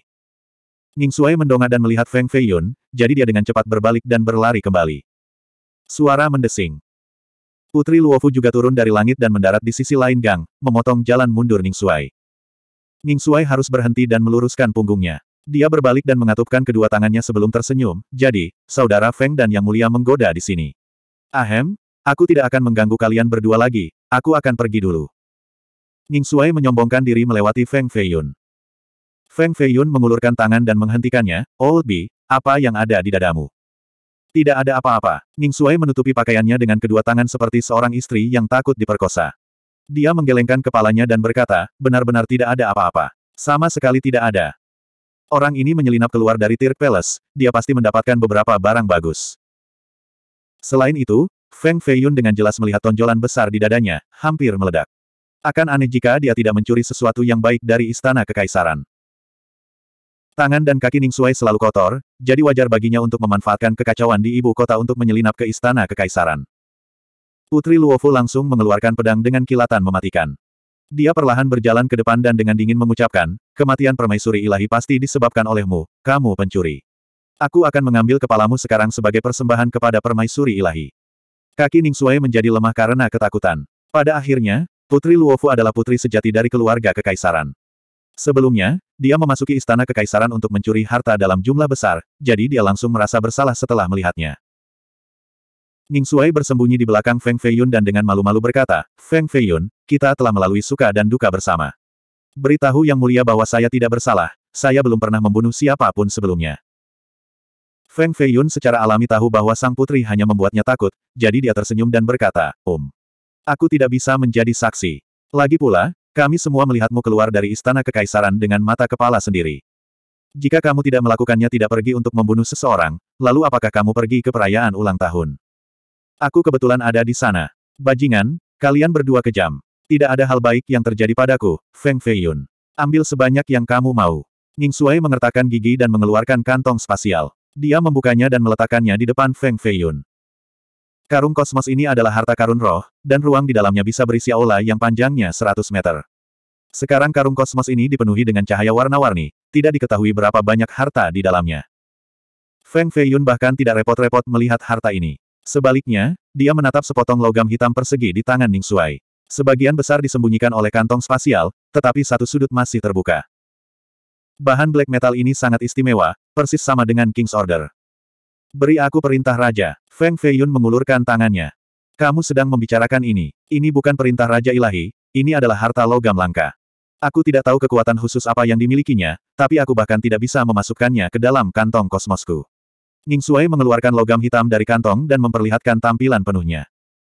Ini adalah segel hitam selebar setengah kaki dengan bahan yang sama dengan perintah raja. Sebelumnya, hanya sudut yang terungkap, jadi Feng Feiyun salah mengira itu sebagai hal lain. Ini, ini adalah segel kekaisaran. Mata Putri Luofu penuh kegembiraan saat dia langsung mengambil segel hitam dari tangan Ning Shuai. Dia memegang segel dan energi drakonik emas muncul di telapak tangannya. Setelah merasakan energi ini, segel hitam itu segera memancarkan kecemerlangan yang menyilaukan. Lapisan rune misterius yang berisi hukum Grandau muncul bersamaan dengan aura kekaisaran yang menghancurkan bumi. Mata Ning Shuai hampir jatuh dari rongganya saat dia jatuh ke tanah dari aura kekaisaran. Putri Luofu dengan cepat mengingat energinya dan segel itu kembali ke tampilan aslinya. Dia terengah-engah dan tidak bisa menenangkan kegembiraan di hatinya. Ini adalah item impiannya, yang mewakili otoritas tertinggi. Sekarang, akhirnya ada di tangannya. Siapa pun bisa kehilangan akal karena otoritas. Ini adalah kekuatan otoritas. Feng Feiyun diam-diam berdiri di samping dan menyaksikan semua ini. Mata sang putri sangat mirip dengan mata Sui Yueting setelah dia membunuhnya dengan satu tebasan. Kedua wanita itu haus akan kekuasaan. Terlalu mirip. Feng Feiyun tidak terlalu tertarik dengan Imperial Seal. Setelah menemukan Namong Hongyan, dia akan menyelesaikan janji kepada orang lain sebelum meninggalkan dinasti Jin. Tidak ada lagi nostalgia untuk tempat ini, jadi dia tetap diam saat ini. Sang putri menarik napas dalam-dalam dan menjadi tenang sebelum bertanya, bagaimana Anda mendapatkan segel kekaisaran ini? Ning Shuai ingin menangis. Dia benar-benar mencuri segel kekaisaran dinasti Jin. Jika berita ini menyebar, itu akan mengguncang seluruh dunia pencuri. Sayangnya, kenyataannya adalah dia melewatkan kesempatan untuk mendapatkannya. Bajingan, tidak bisa melihat giok bertatahkan emas. Jika aku tahu bongkahan besi ini adalah Imperial Cell, aku tidak akan mengeluarkannya apa pun yang terjadi. Ning Shuai berpikir sendiri, tapi dia tetap menjawab dengan jujur, aku mengambilnya dari seorang Kasim tua. Seperti apa Kasim itu? Sang putri tidak percaya. Alis putih, nafas hitam, tidak ada jakun, tahi lalat besar di antara alisnya, dan tangan seperti kait besi. Ning Shuai menjawab, Sang putri dan Feng Feiyun saling melirik. Ini adalah petugas pusat. Siapa yang mengira seseorang sekuat dia masih akan dirampok. Bahkan segel kekaisaran dicuri. Teriakan nyaring datang dari kedalaman istana, mengguncang cakrawala. Itu disertai dengan suara yang tidak menyenangkan, pencuri, ke mana kamu lari? Ini adalah suara dari petugas pusat. Sang putri pasti telah menggunakan energi naganya untuk mengaktifkan segel kekaisaran tadi, membiarkan auranya menyebar. Ini menyebabkan petugas menyadarinya, jadi dia segera bergegas menuju kota kekaisaran. Itu datang dengan sangat cepat. Aura itu seperti raksasa yang menerkamnya. Feng Feiyun meraih bahu Ning Shuai dan melemparkannya ke kereta. Sang putri dan Feng Feiyun juga dengan cepat melompat masuk. Delapan jiwa naga segera terbang dan menerobos formasi tirai langit di atas kota kekaisaran. Mereka menyeret kereta dan berubah menjadi sinar keemasan untuk membubung ke langit. Di Istana Tirk, sebuah telapak tangan besar yang panjangnya puluhan meter runtuh. Kekuatan angin palem langsung menyebabkan istana alam semesta langit runtuh, mengubahnya menjadi reruntuhan. Sebuah lubang besar berbentuk palem muncul di tanah. Di situlah kereta naga divisi 8 sebelumnya diparkir. Jika tandu delapan naga terbang sepersekian detik kemudian, itu akan hancur menjadi panekuk emas. Bab 588 Kereta naga delapan langkah mendarat di depan toko batu roh tua. Itu mendarat dengan ledakan keras, meninggalkan dua bekas kereta yang dalam di tanah dan menghancurkan lantai batu yang tebal. Ini adalah toko tempat penjaga sungai ilahi berada. Dua sosok dengan cepat bergegas keluar dari toko. Mereka waspada dan hanya menghela nafas lega setelah melihat Feng Feiyun keluar dari kereta. Mereka berlutut dan menyapa, salam, Raja Ilahi. Bangkit. Feng Feiyun dengan cepat memasuki toko. Putri Luofu menyingkirkan kereta dan mengikuti tepat di belakangnya. Setelah mereka bertiga memasuki toko batu roh, pintunya tertutup rapat. Di dalam rumah kanselir agung. Di luar, api perang berkobar di mana-mana, tetapi di dalam rumah itu masih damai, bernyanyi dan menari untuk merayakan perdamaian. Mosou dengan tenang duduk di samping kolam. Angin mengibaskan jubahnya saat tinta menari-nari di tiup angin. Setelah menyelesaikan lukisan itu, senyum tipis muncul di wajahnya. Dia mungkin orang paling tenang di ibu kota saat ini. Dua pelayan cantik keluar. Yang satu membawa baskom emas berisi air sementara yang lain membawa nampan perak dengan brokat. Mosou mencuci tangannya dan menyekannya di brokat. Dia memerintahkan orang untuk mengambil tinta dan kertas sebelum duduk kembali dan bertanya bagaimana situasinya sekarang. Ada lebih dari sepuluh jenderal ilahi menunggu di luar. Semuanya gelisah seperti semut di wajan panas. Mereka dengan cepat melaporkan setelah mendengar pertanyaan Mosou. Sembilan gerbang Tuhan telah direbut oleh seseorang, dan penjaga sembilan gerbang telah membukanya. Tentara bela diri yang ditempatkan di luar ibu kota telah menginvasi. Tiga markis dari faksi Raja Ilahi memimpin mereka. Dua pasukan sedang menuju kota kekaisaran sementara yang terkuat sedang menuju rumah kanselir agung. Setidaknya 20 kekuatan berpartisipasi dalam pertempuran. Kota ini rusak berat dan ketertiban benar-benar runtuh. Beiming Mosou mendengarkan dengan tenang seolah semuanya berjalan sesuai rencananya. Tiba-tiba, keributan terjadi. Longsenya masuk dan berkata, kakek, semuanya tidak terlihat baik. Bukankah kamu seharusnya berada di kota kekaisaran? Bagaimana kamu bisa keluar? Mosou bertanya. Pertarungan sebelumnya tidak menggerakkan dia, tapi setelah melihat longsenya, dia sedikit marah. Itu adalah jenis kemarahan yang muncul karena membenci besi karena tidak menjadi baja. Aku, longsenya berkata, permaisuri Luo terbunuh, jubah naga regal dan dekrit kekaisaran diambil. Apa? Beiming Mosou hanya sedikit marah sebelumnya tapi sekarang sangat marah. Jika tidak ada jenderal ilahi lainnya di sini, dia pasti sudah menamparkan wajah Senya. Bahkan jika ibu kota jatuh, selama Fei Yun dan Luofu bisa mendapatkan jubah kekaisaran dan dekrit, dia akan bisa mengambil alih kota kekaisaran. Kemudian, dia akan dapat memproklamasikan dirinya sebagai kaisar dan mendapatkan persetujuan dari para leluhur. Pada saat itu, sudah terlambat tidak peduli apa yang dia lakukan. Dia tidak menyangka Longsenya membawa begitu banyak ahli bersamanya. Tidak hanya gagal mengambil dekrit dan jubah, mereka bahkan lari kembali. Bagaimana mungkin Mosou tidak marah? Permainan catur tidak bergantung pada siapa yang lebih kuat. Yang penting adalah bidak catur yang akan menentukan hasil pertandingan. Satu bidak catur bisa menentukan hasil pertandingan. Mosou berpikir bahwa dia memiliki kendali penuh atas bidak ini. Siapa yang mengira Senya tidak akan bisa melakukan apa pun selain merusak segalanya? Apakah Feng Feiyun sudah mati? Mosou sedikit tenang dan bertanya. Dia melarikan diri. Senya menggertakkan giginya, takut Beiming Mosou akan marah. Dia segera menambahkan, Meskipun permaisuri Luo sudah mati, saya tahu siapa yang membunuhnya. Jubah naga regal dan dekrit kekaisaran ada di tangan orang itu. Siapa? Mosou bertanya. Namong Hongyan. Jika bukan karena Namong Hongyan, dia akan duduk di singgah sana sekarang. Pelacur ini, jika aku menangkapnya, aku akan menyiksanya dengan baik. Longsenya berkata dengan kejam, matanya dipenuhi dengan kekejaman. Ekspresi Mosou rileks setelah mendengar ini. Dia mengungkapkan senyuman aneh, jadi itu dia, itu mudah sekarang. Saya akan mengambil semuanya sekaligus. Feng Fei Yun, ah, Feng Fei Yun, kau begitu muda namun begitu licik, kau benar-benar mengetahui rencanaku. Baiklah, sangat baik, aku tidak bisa membiarkanmu hidup sekarang. Senya tidak mengerti. Namong Hongyan memiliki jubah gaib di atas jubah naga regal. Menangkapnya akan jauh lebih sulit daripada menangkap Feng Fei Yun. Kenapa dia begitu percaya diri? Hampir semua penjaga sungai ilahi telah dikirim keluar dari toko batu roh. Hanya empat dari mereka yang tersisa. Ini adalah tempat rahasia yang paling cocok untuk bersembunyi. Itu adalah tempat di mana seseorang dapat secara diam-diam memberi perintah, mengatur pasukan, dan mengendalikan situasi seluruh ibu kota ilahi. Luofu, sekarang kamu memiliki segel kekaisaran, bisakah kamu menggunakan kekuatan tersembunyi dari klan kerajaan? Feng Feiyun menurunkan gulungan dari dinding dan meletakkannya di atas meja sambil melihat peta. Sang putri menjawab, secara teori. Feng Feiyun tampaknya lebih unggul daripada sang putri, kalau begitu gunakan kekuatan klan kerajaan untuk mengalahkan faksi putra mahkota secepat mungkin dan merebut kota kekaisaran. Mengingat situasi saat ini, siapa pun yang dapat merebut kota kekaisaran dengan paksa akan menjadi kaisar. Selain itu, kami memiliki segel kekaisaran, simbol Kaisar Jin. Sangat dibenarkan bagi kita untuk menjadi kaisar. Tapi pihak putra mahkota telah mengambil alih setengah dari kota. Ditambah lagi, jika gerbang ditutup, bahkan pasukan perang pun tidak akan bisa menerobos. Putri Luofu baru saja menerima laporan dan mengetahui situasi di dalam dan di luar dari kota kekaisaran. Meskipun pihak Feng Feiyun memiliki keunggulan absolut di ibu kota, faksi putra mahkota telah mengambil alih wilayah pusat. Feng Feiyun berbicara dengan ekspresi serius. Pertama, beritahu Heaven Butler Markis untuk menyerang kota kekaisaran dengan paksa. Kedua, Putri Luofu, gunakan segel kekaisaran untuk memerintahkan kekuatan klan kerajaan untuk membuka gerbang. Kedua rencana ini harus dilaksanakan secara bersamaan tanpa penundaan. Pengawal Istana Sungai Ilahi pergi diam-diam untuk meneruskan perintah. Dia menulis surat rahasia dan menggunakan segel kekaisaran untuk mencetak segel mistis sebelum mengirimkannya ke kota kekaisaran.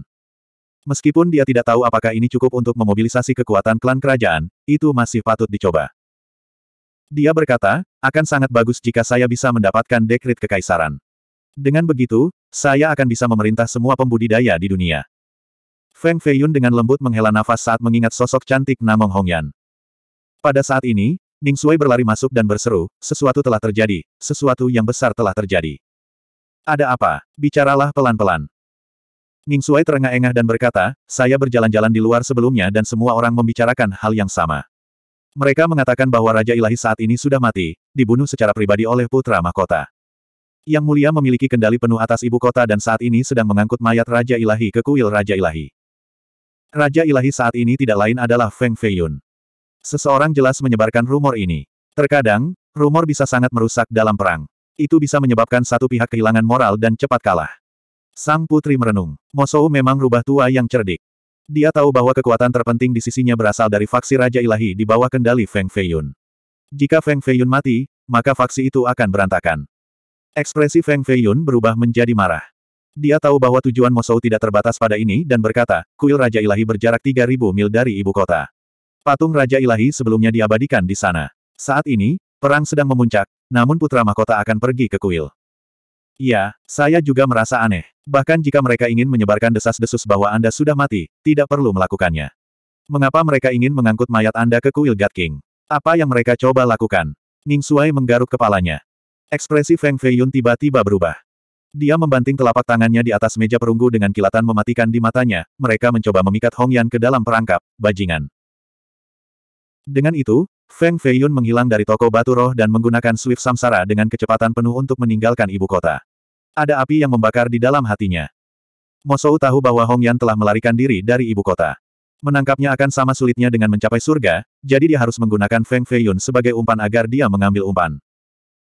Jika dia dibujuk kembali ke ibu kota, maka Feng Feiyun pasti akan pergi dan menghentikannya. Namun, jika ini terjadi di luar ibu kota, maka sudah terlambat bagi Feng Feiyun untuk menyelamatkannya. Ini adalah niat Mosou yang sebenarnya. Pada hari ini, banyak pembudidaya melarikan diri dari ibu kota seolah-olah mereka melarikan diri untuk hidup mereka. Sejauh mata memandang, ada pembudidaya di mana-mana di luar ibu kota dewa, berlari untuk hidup mereka. Hong Yan mengendarai kereta mewah. Dua kelinci seputih salju sedang menarik kereta untuknya. Kedua kelinci ini berbulu dan sangat lucu. Mata bulat mereka bahkan lebih besar dari kepalan tangan, dan mereka terlihat sangat cerdas. Gerbong itu melewati jalan resmi menuju kota Iron Mountain di selatan. Ini adalah tempat di mana dia dan Fei Yun setuju untuk bertemu. Meski kaki kelinci itu pendek, kecepatan menarik gerobaknya tidak lambat. Hong Yan duduk di dalam mobil, merasa sangat bahagia. Dia seperti seorang gadis kecil yang mengalami kebangkitan cinta pertamanya dan akan pergi kencan pertamanya. Dia sedikit manis, sedikit pemalu, dan sedikit berharap. Awalnya, dia mengira kali ini akan sangat berbahaya, tetapi bertentangan dengan harapannya, semuanya tampak sangat lancar. Bagaimana mungkin dia tidak bahagia? Kelinci, kelinci, Anda harus berlari lebih cepat. Jika orang jahat itu Feng Feiyun sampai lebih dulu, maka aku akan marah padanya karena tidak mendengarkanku. Kau harus tahu betapa menyebalkannya pria itu. Fei Fei, Yunyun, siapa pun dari kalian yang menggunakan lebih banyak kekuatan akan mendapatkan sekeranjang wortel ekstra saat kalian sampai di sana. Saya tidak pernah berbohong kepada kelinci. Hongyan dalam suasana hati yang baik hari ini dan bisa berbicara dengan kelinci. Kedua kelinci besar yang sedang menarik kereta sepertinya mengerti kata-kata Hongyan. Mata bulat mereka berbinar saat mereka mengertakkan gigi dan menarik kereta dengan sekuat tenaga. Bab 589 Dinginnya musim dingin akan segera berlalu. Salju di gunung mencair dan air mengalir ke anak sungai yang jernih dan manis. Ada lapisan daun yang tebal di hutan maple. Salju mencair dan dedaunan mengering di bawah sinar matahari, tetapi masih semerah bunga. Beberapa burung pipit berbulu cerah bertengger di batang pohon biru tua yang gundul. Mereka bernyanyi dengan gembira, dan suara mereka bergema di seluruh hutan pegunungan. Beberapa tempat sudah mulai bertunas, memperlihatkan spora hijau lembut yang memancarkan aroma kayu yang samar. Musim semi telah tiba. Dua kelinci seputih salju sedang menarik kereta. Ada suara indah yang datang dari kereta. Itu ceria dan menyenangkan, terjalin dengan musik musim semi. Burung-burung di pohon berkicau dan mengejar kereta. Namun, mereka hanyalah burung biasa. Kecepatan terbang mereka terbatas, dan mereka dengan cepat kehilangan pandangan dari kereta. Sepanjang jalan adalah pembudidaya yang melarikan diri dari ibu kota. Beberapa memiliki pedang di punggung mereka sementara yang lain mengendarai binatang raksasa. Beberapa mengendarai gerbong dengan pelayan mengikuti mereka. Dunia tidak dapat diprediksi. Orang yang baru saja hidup kembali sekarang sudah mati. Seorang Daois tua berkata sambil berjalan. Itu benar. Putra mahkota telah menguasai ibu kota. Raja ilahi dan sang putri kalah. Saya mendengar raja dibunuh di tempat sementara sang putri di penjara. Tambah lelaki tua lainnya. Apa yang bisa kita lakukan? Putra mahkota mendapat dukungan dari klan Beiming. Siapa yang bisa dibandingkan dengan mereka di ibu kota? Beiming Mosou terkenal licik. Dengan dia bermain catur dalam bayang-bayang, dua junior ini, Feng Feiyun dan Putri Luofu, tidak bisa mengalahkannya. Mendering. Sebuah kereta tiba-tiba berhenti.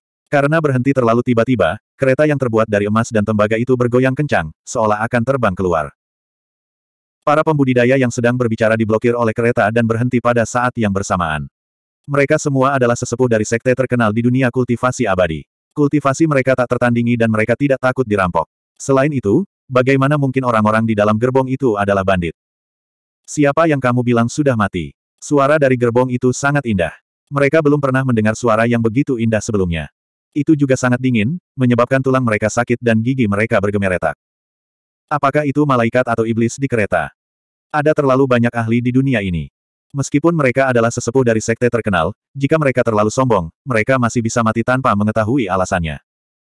Taois tua berkata, Raja Ilahi saat ini. Mustahil. Suara Hongyan menjadi lebih dingin.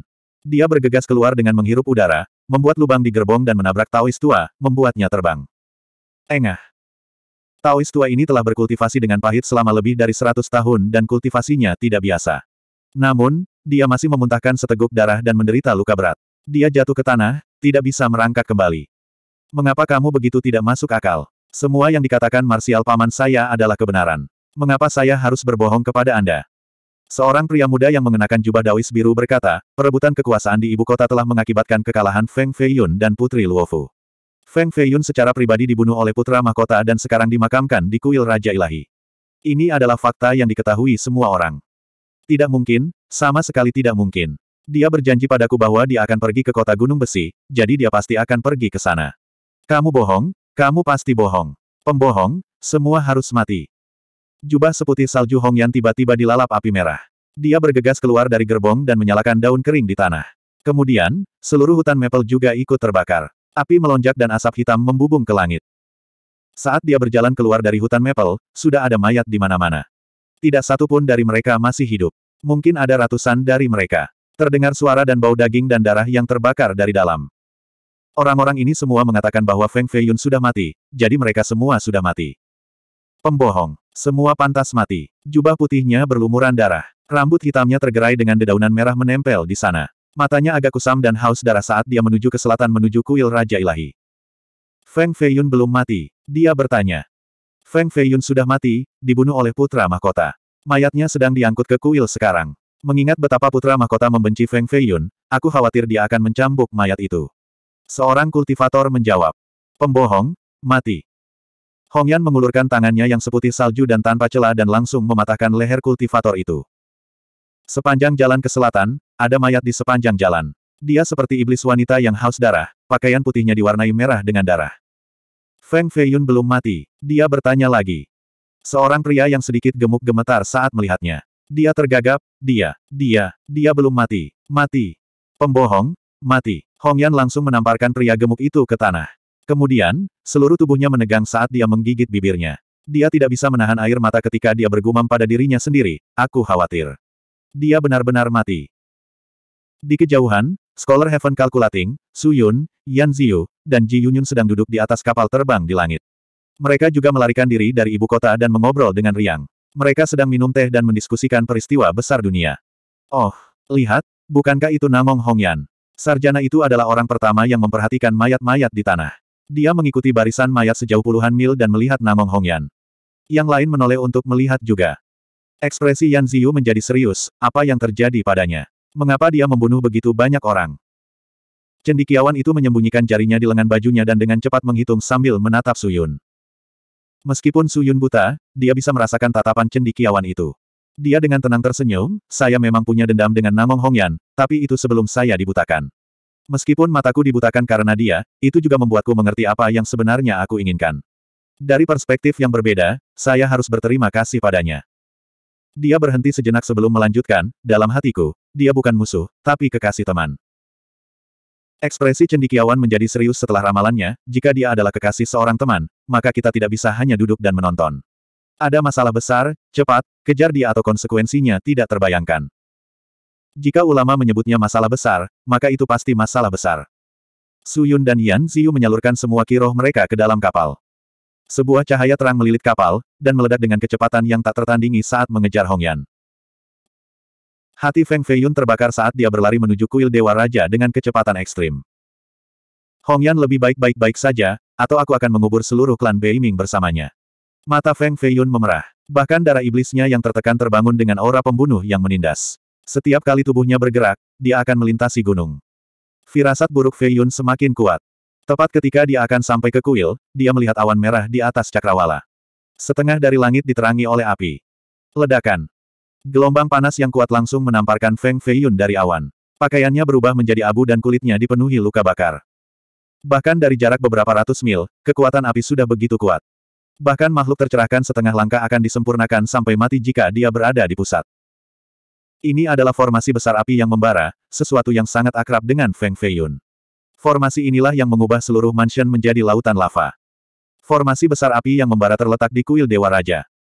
Senya berdiri di awan dengan empat lelaki tua yang kuat di belakangnya.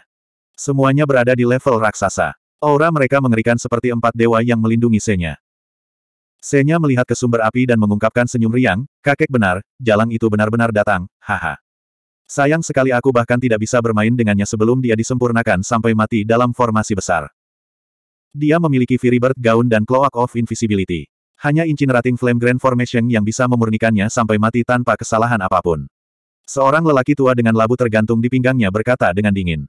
Long Senya mengangguk sambil tersenyum. Dibandingkan dengan singgasana, seorang wanita memang tidak layak disebut. Di dalam formasi Prairie Blazing, seluruh dunia diwarnai merah tua. Tanah mulai berubah menjadi magma. Kuil God King yang berdiri di puncak gunung juga diwarnai merah. Itu mulai mencair perlahan. Samar-samar, orang bisa melihat sosok yang menakjubkan berdiri di kuil Raja Ilahi. Dia ingin bergegas keluar, tetapi dia terlempar ke belakang oleh batu besar yang beratnya jutaan kilogram. Dia jatuh ke tanah. Pakar yang tak terhitung jumlahnya berkumpul di sekitar formasi Prairie Blazing Heaven. Dia tidak bisa terburu-buru keluar sama sekali. Feng Feiyun berdiri beberapa ratus mil jauhnya dengan cahaya menyala seterang darah di matanya. Dia mengabaikan segalanya dan bergegas menuju kuil. Ledakan, ledakan. Suyun dan Yan Ziyu berusaha sekuat tenaga dan meraih lengan Feng Feiyun, ingin menyeretnya kembali. Kamu tidak bisa pergi, setidaknya ada sepuluh raksasa dari Beiming. Kamu hanya akan mati jika pergi. Su Yun meraih lengan kanan Feng Feiyun seperti sepasang penjepit. Enyahlah. Mata Feng Feiyun semerah darah saat dia mengerahkan seluruh kekuatannya. Energi jahat dari tulang punggung Yama melonjak saat dia meraih Su Yun dan Yan Ziyu, membanting mereka satu sama lain. Kekuatan Feng Feiyun begitu besar sehingga dua tulang Yan Ziyu patah. Su Yun dan Yan Ziyu tidak melepaskannya. Suyun mengeluarkan rantai baja setebal lengan dan mengikat dirinya dan Feng Feiyun menjadi satu. Kemudian, dia mengerahkan kekuatan dan setengah dari tubuhnya tenggelam ke tanah.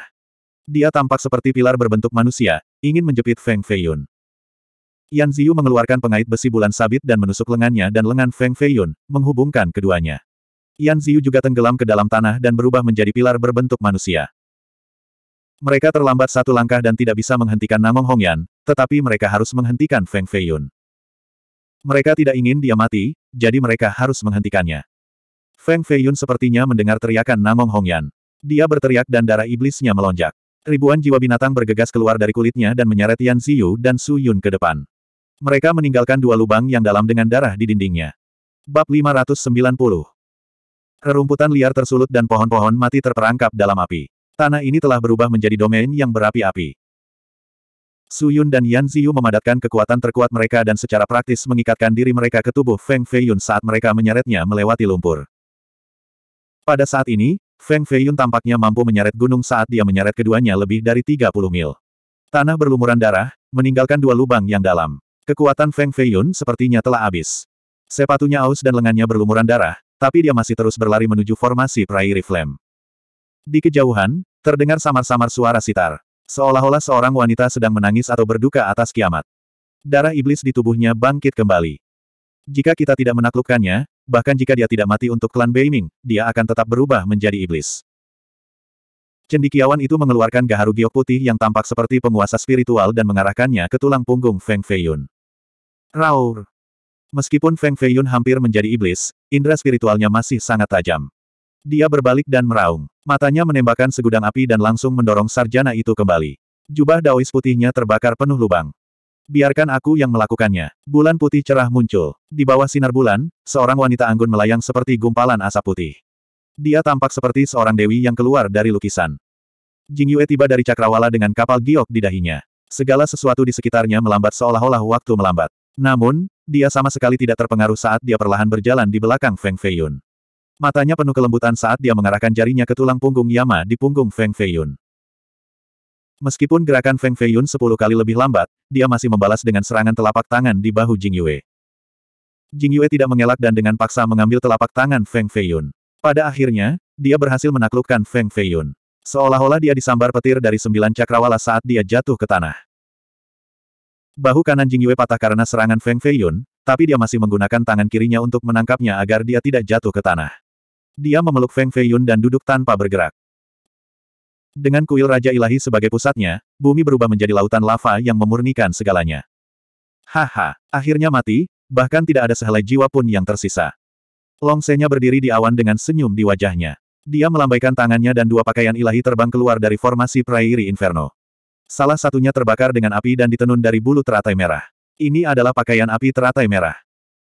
Setelah pakaian api teratai merah dipakai, tidak mungkin melepasnya kecuali pemiliknya sudah mati. Tampaknya Hongyan memang telah disempurnakan sampai mati dalam formasi. Jubah ilahi kedua memiliki sembilan naga emas yang dibordir di atasnya.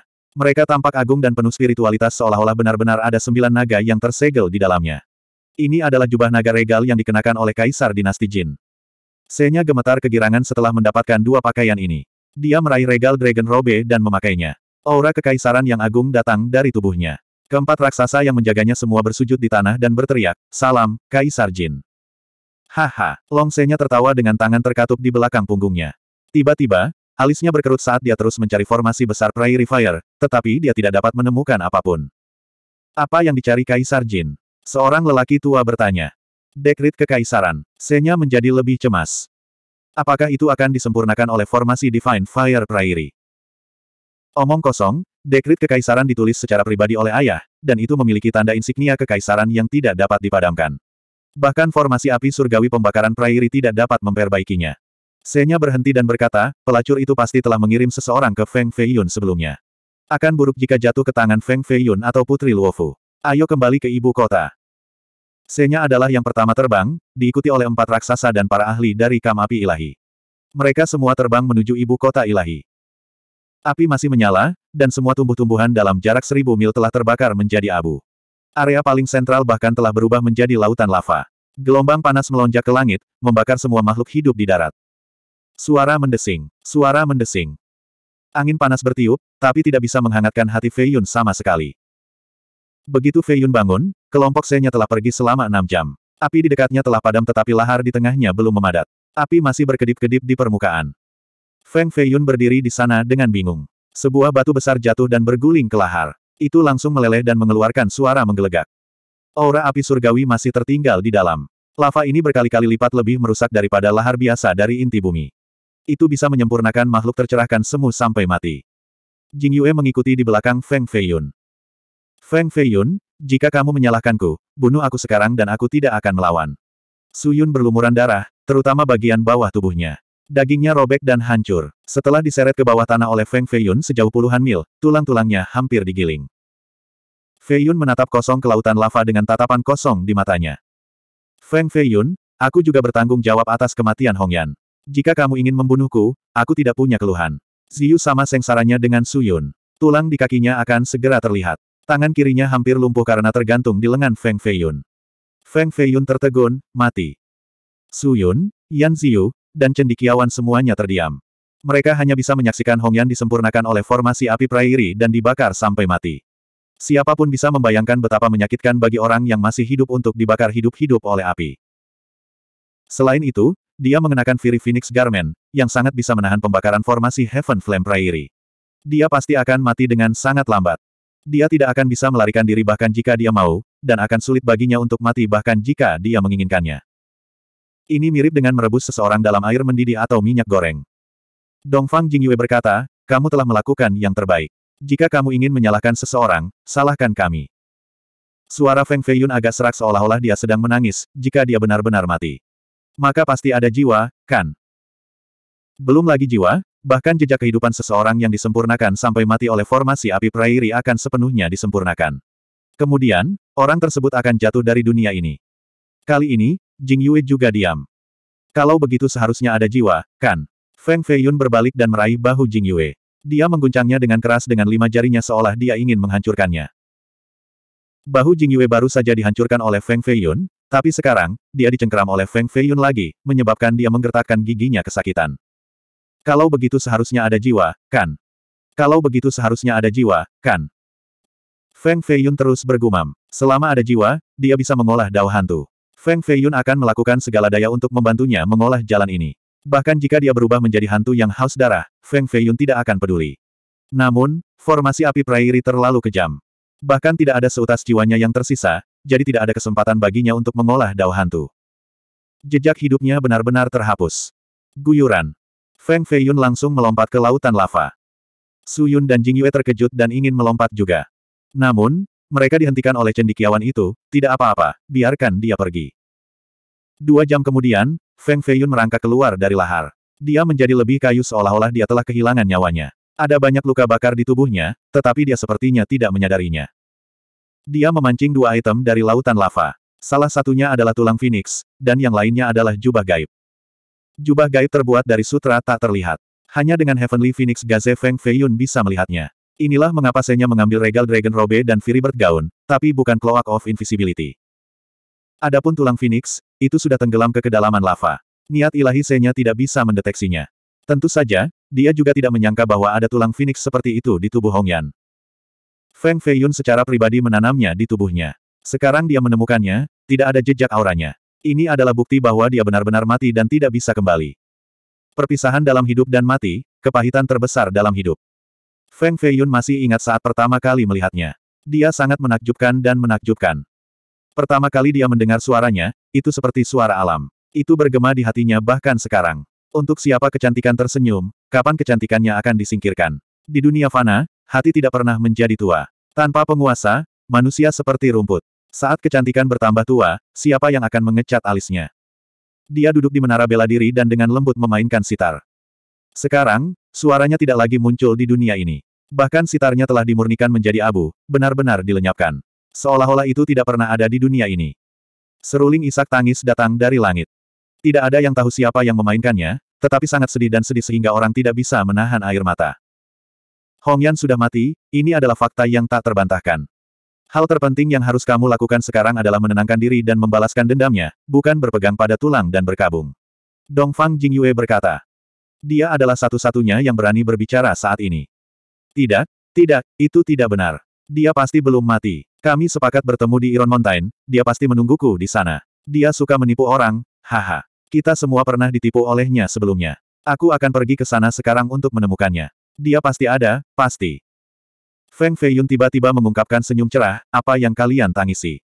Aku baik-baik saja, aku akan pergi mencarinya sekarang. Kalian bisa melakukan apa pun yang perlu kalian lakukan. Dengan itu, Feng Feiyun terbang menuju kota dengan semangat tinggi. Senyum Feng Feiyun yang lebih cerah, semakin mereka menjadi khawatir. Serahkan dia padaku. Dongfang Jingyue mengikuti di belakang Feng Feiyun. Feng Feiyun memperhatikannya berkali-kali dan memaksanya pergi, tapi dia masih mengikutinya sampai ke Iron Mountain. Senyum di wajah Feiyun tidak begitu bahagia dan dengan cepat menghilang. Meskipun itu bukan ekspresi menangis, itu bahkan lebih buruk dari itu. Tentu saja, Hong Yan tidak berada di Iron Mountain. Feng Feiyun sedang duduk di atas batu besar di pintu masuk kota, memegang tulang phoenix yang dingin di tangannya. Dia tidak bergerak, melihat orang yang lewat datang dari jauh. Matanya terkadang cerah, terkadang redup, dan pada akhirnya, redup sama sekali. Dia bahkan tidak berkedip, seolah-olah dia telah berubah menjadi patung batu berbentuk manusia, menyatu dengan batu besar di bawahnya. Penantian ini berlangsung selama tujuh hari delapan malam. Malam tiba lagi, dan gerimis mulai turun. Hujan musim semi dan guntur yang menggelegar menimpa tubuh Feng Feiyun, membasahi rambutnya, matanya, dan bahkan seluruh tubuhnya. Hujan begitu dingin hingga menusuk tulang-tulangnya. Dongfang Jingyue berdiri di sisi batu besar, basah kuyup karena gerimis.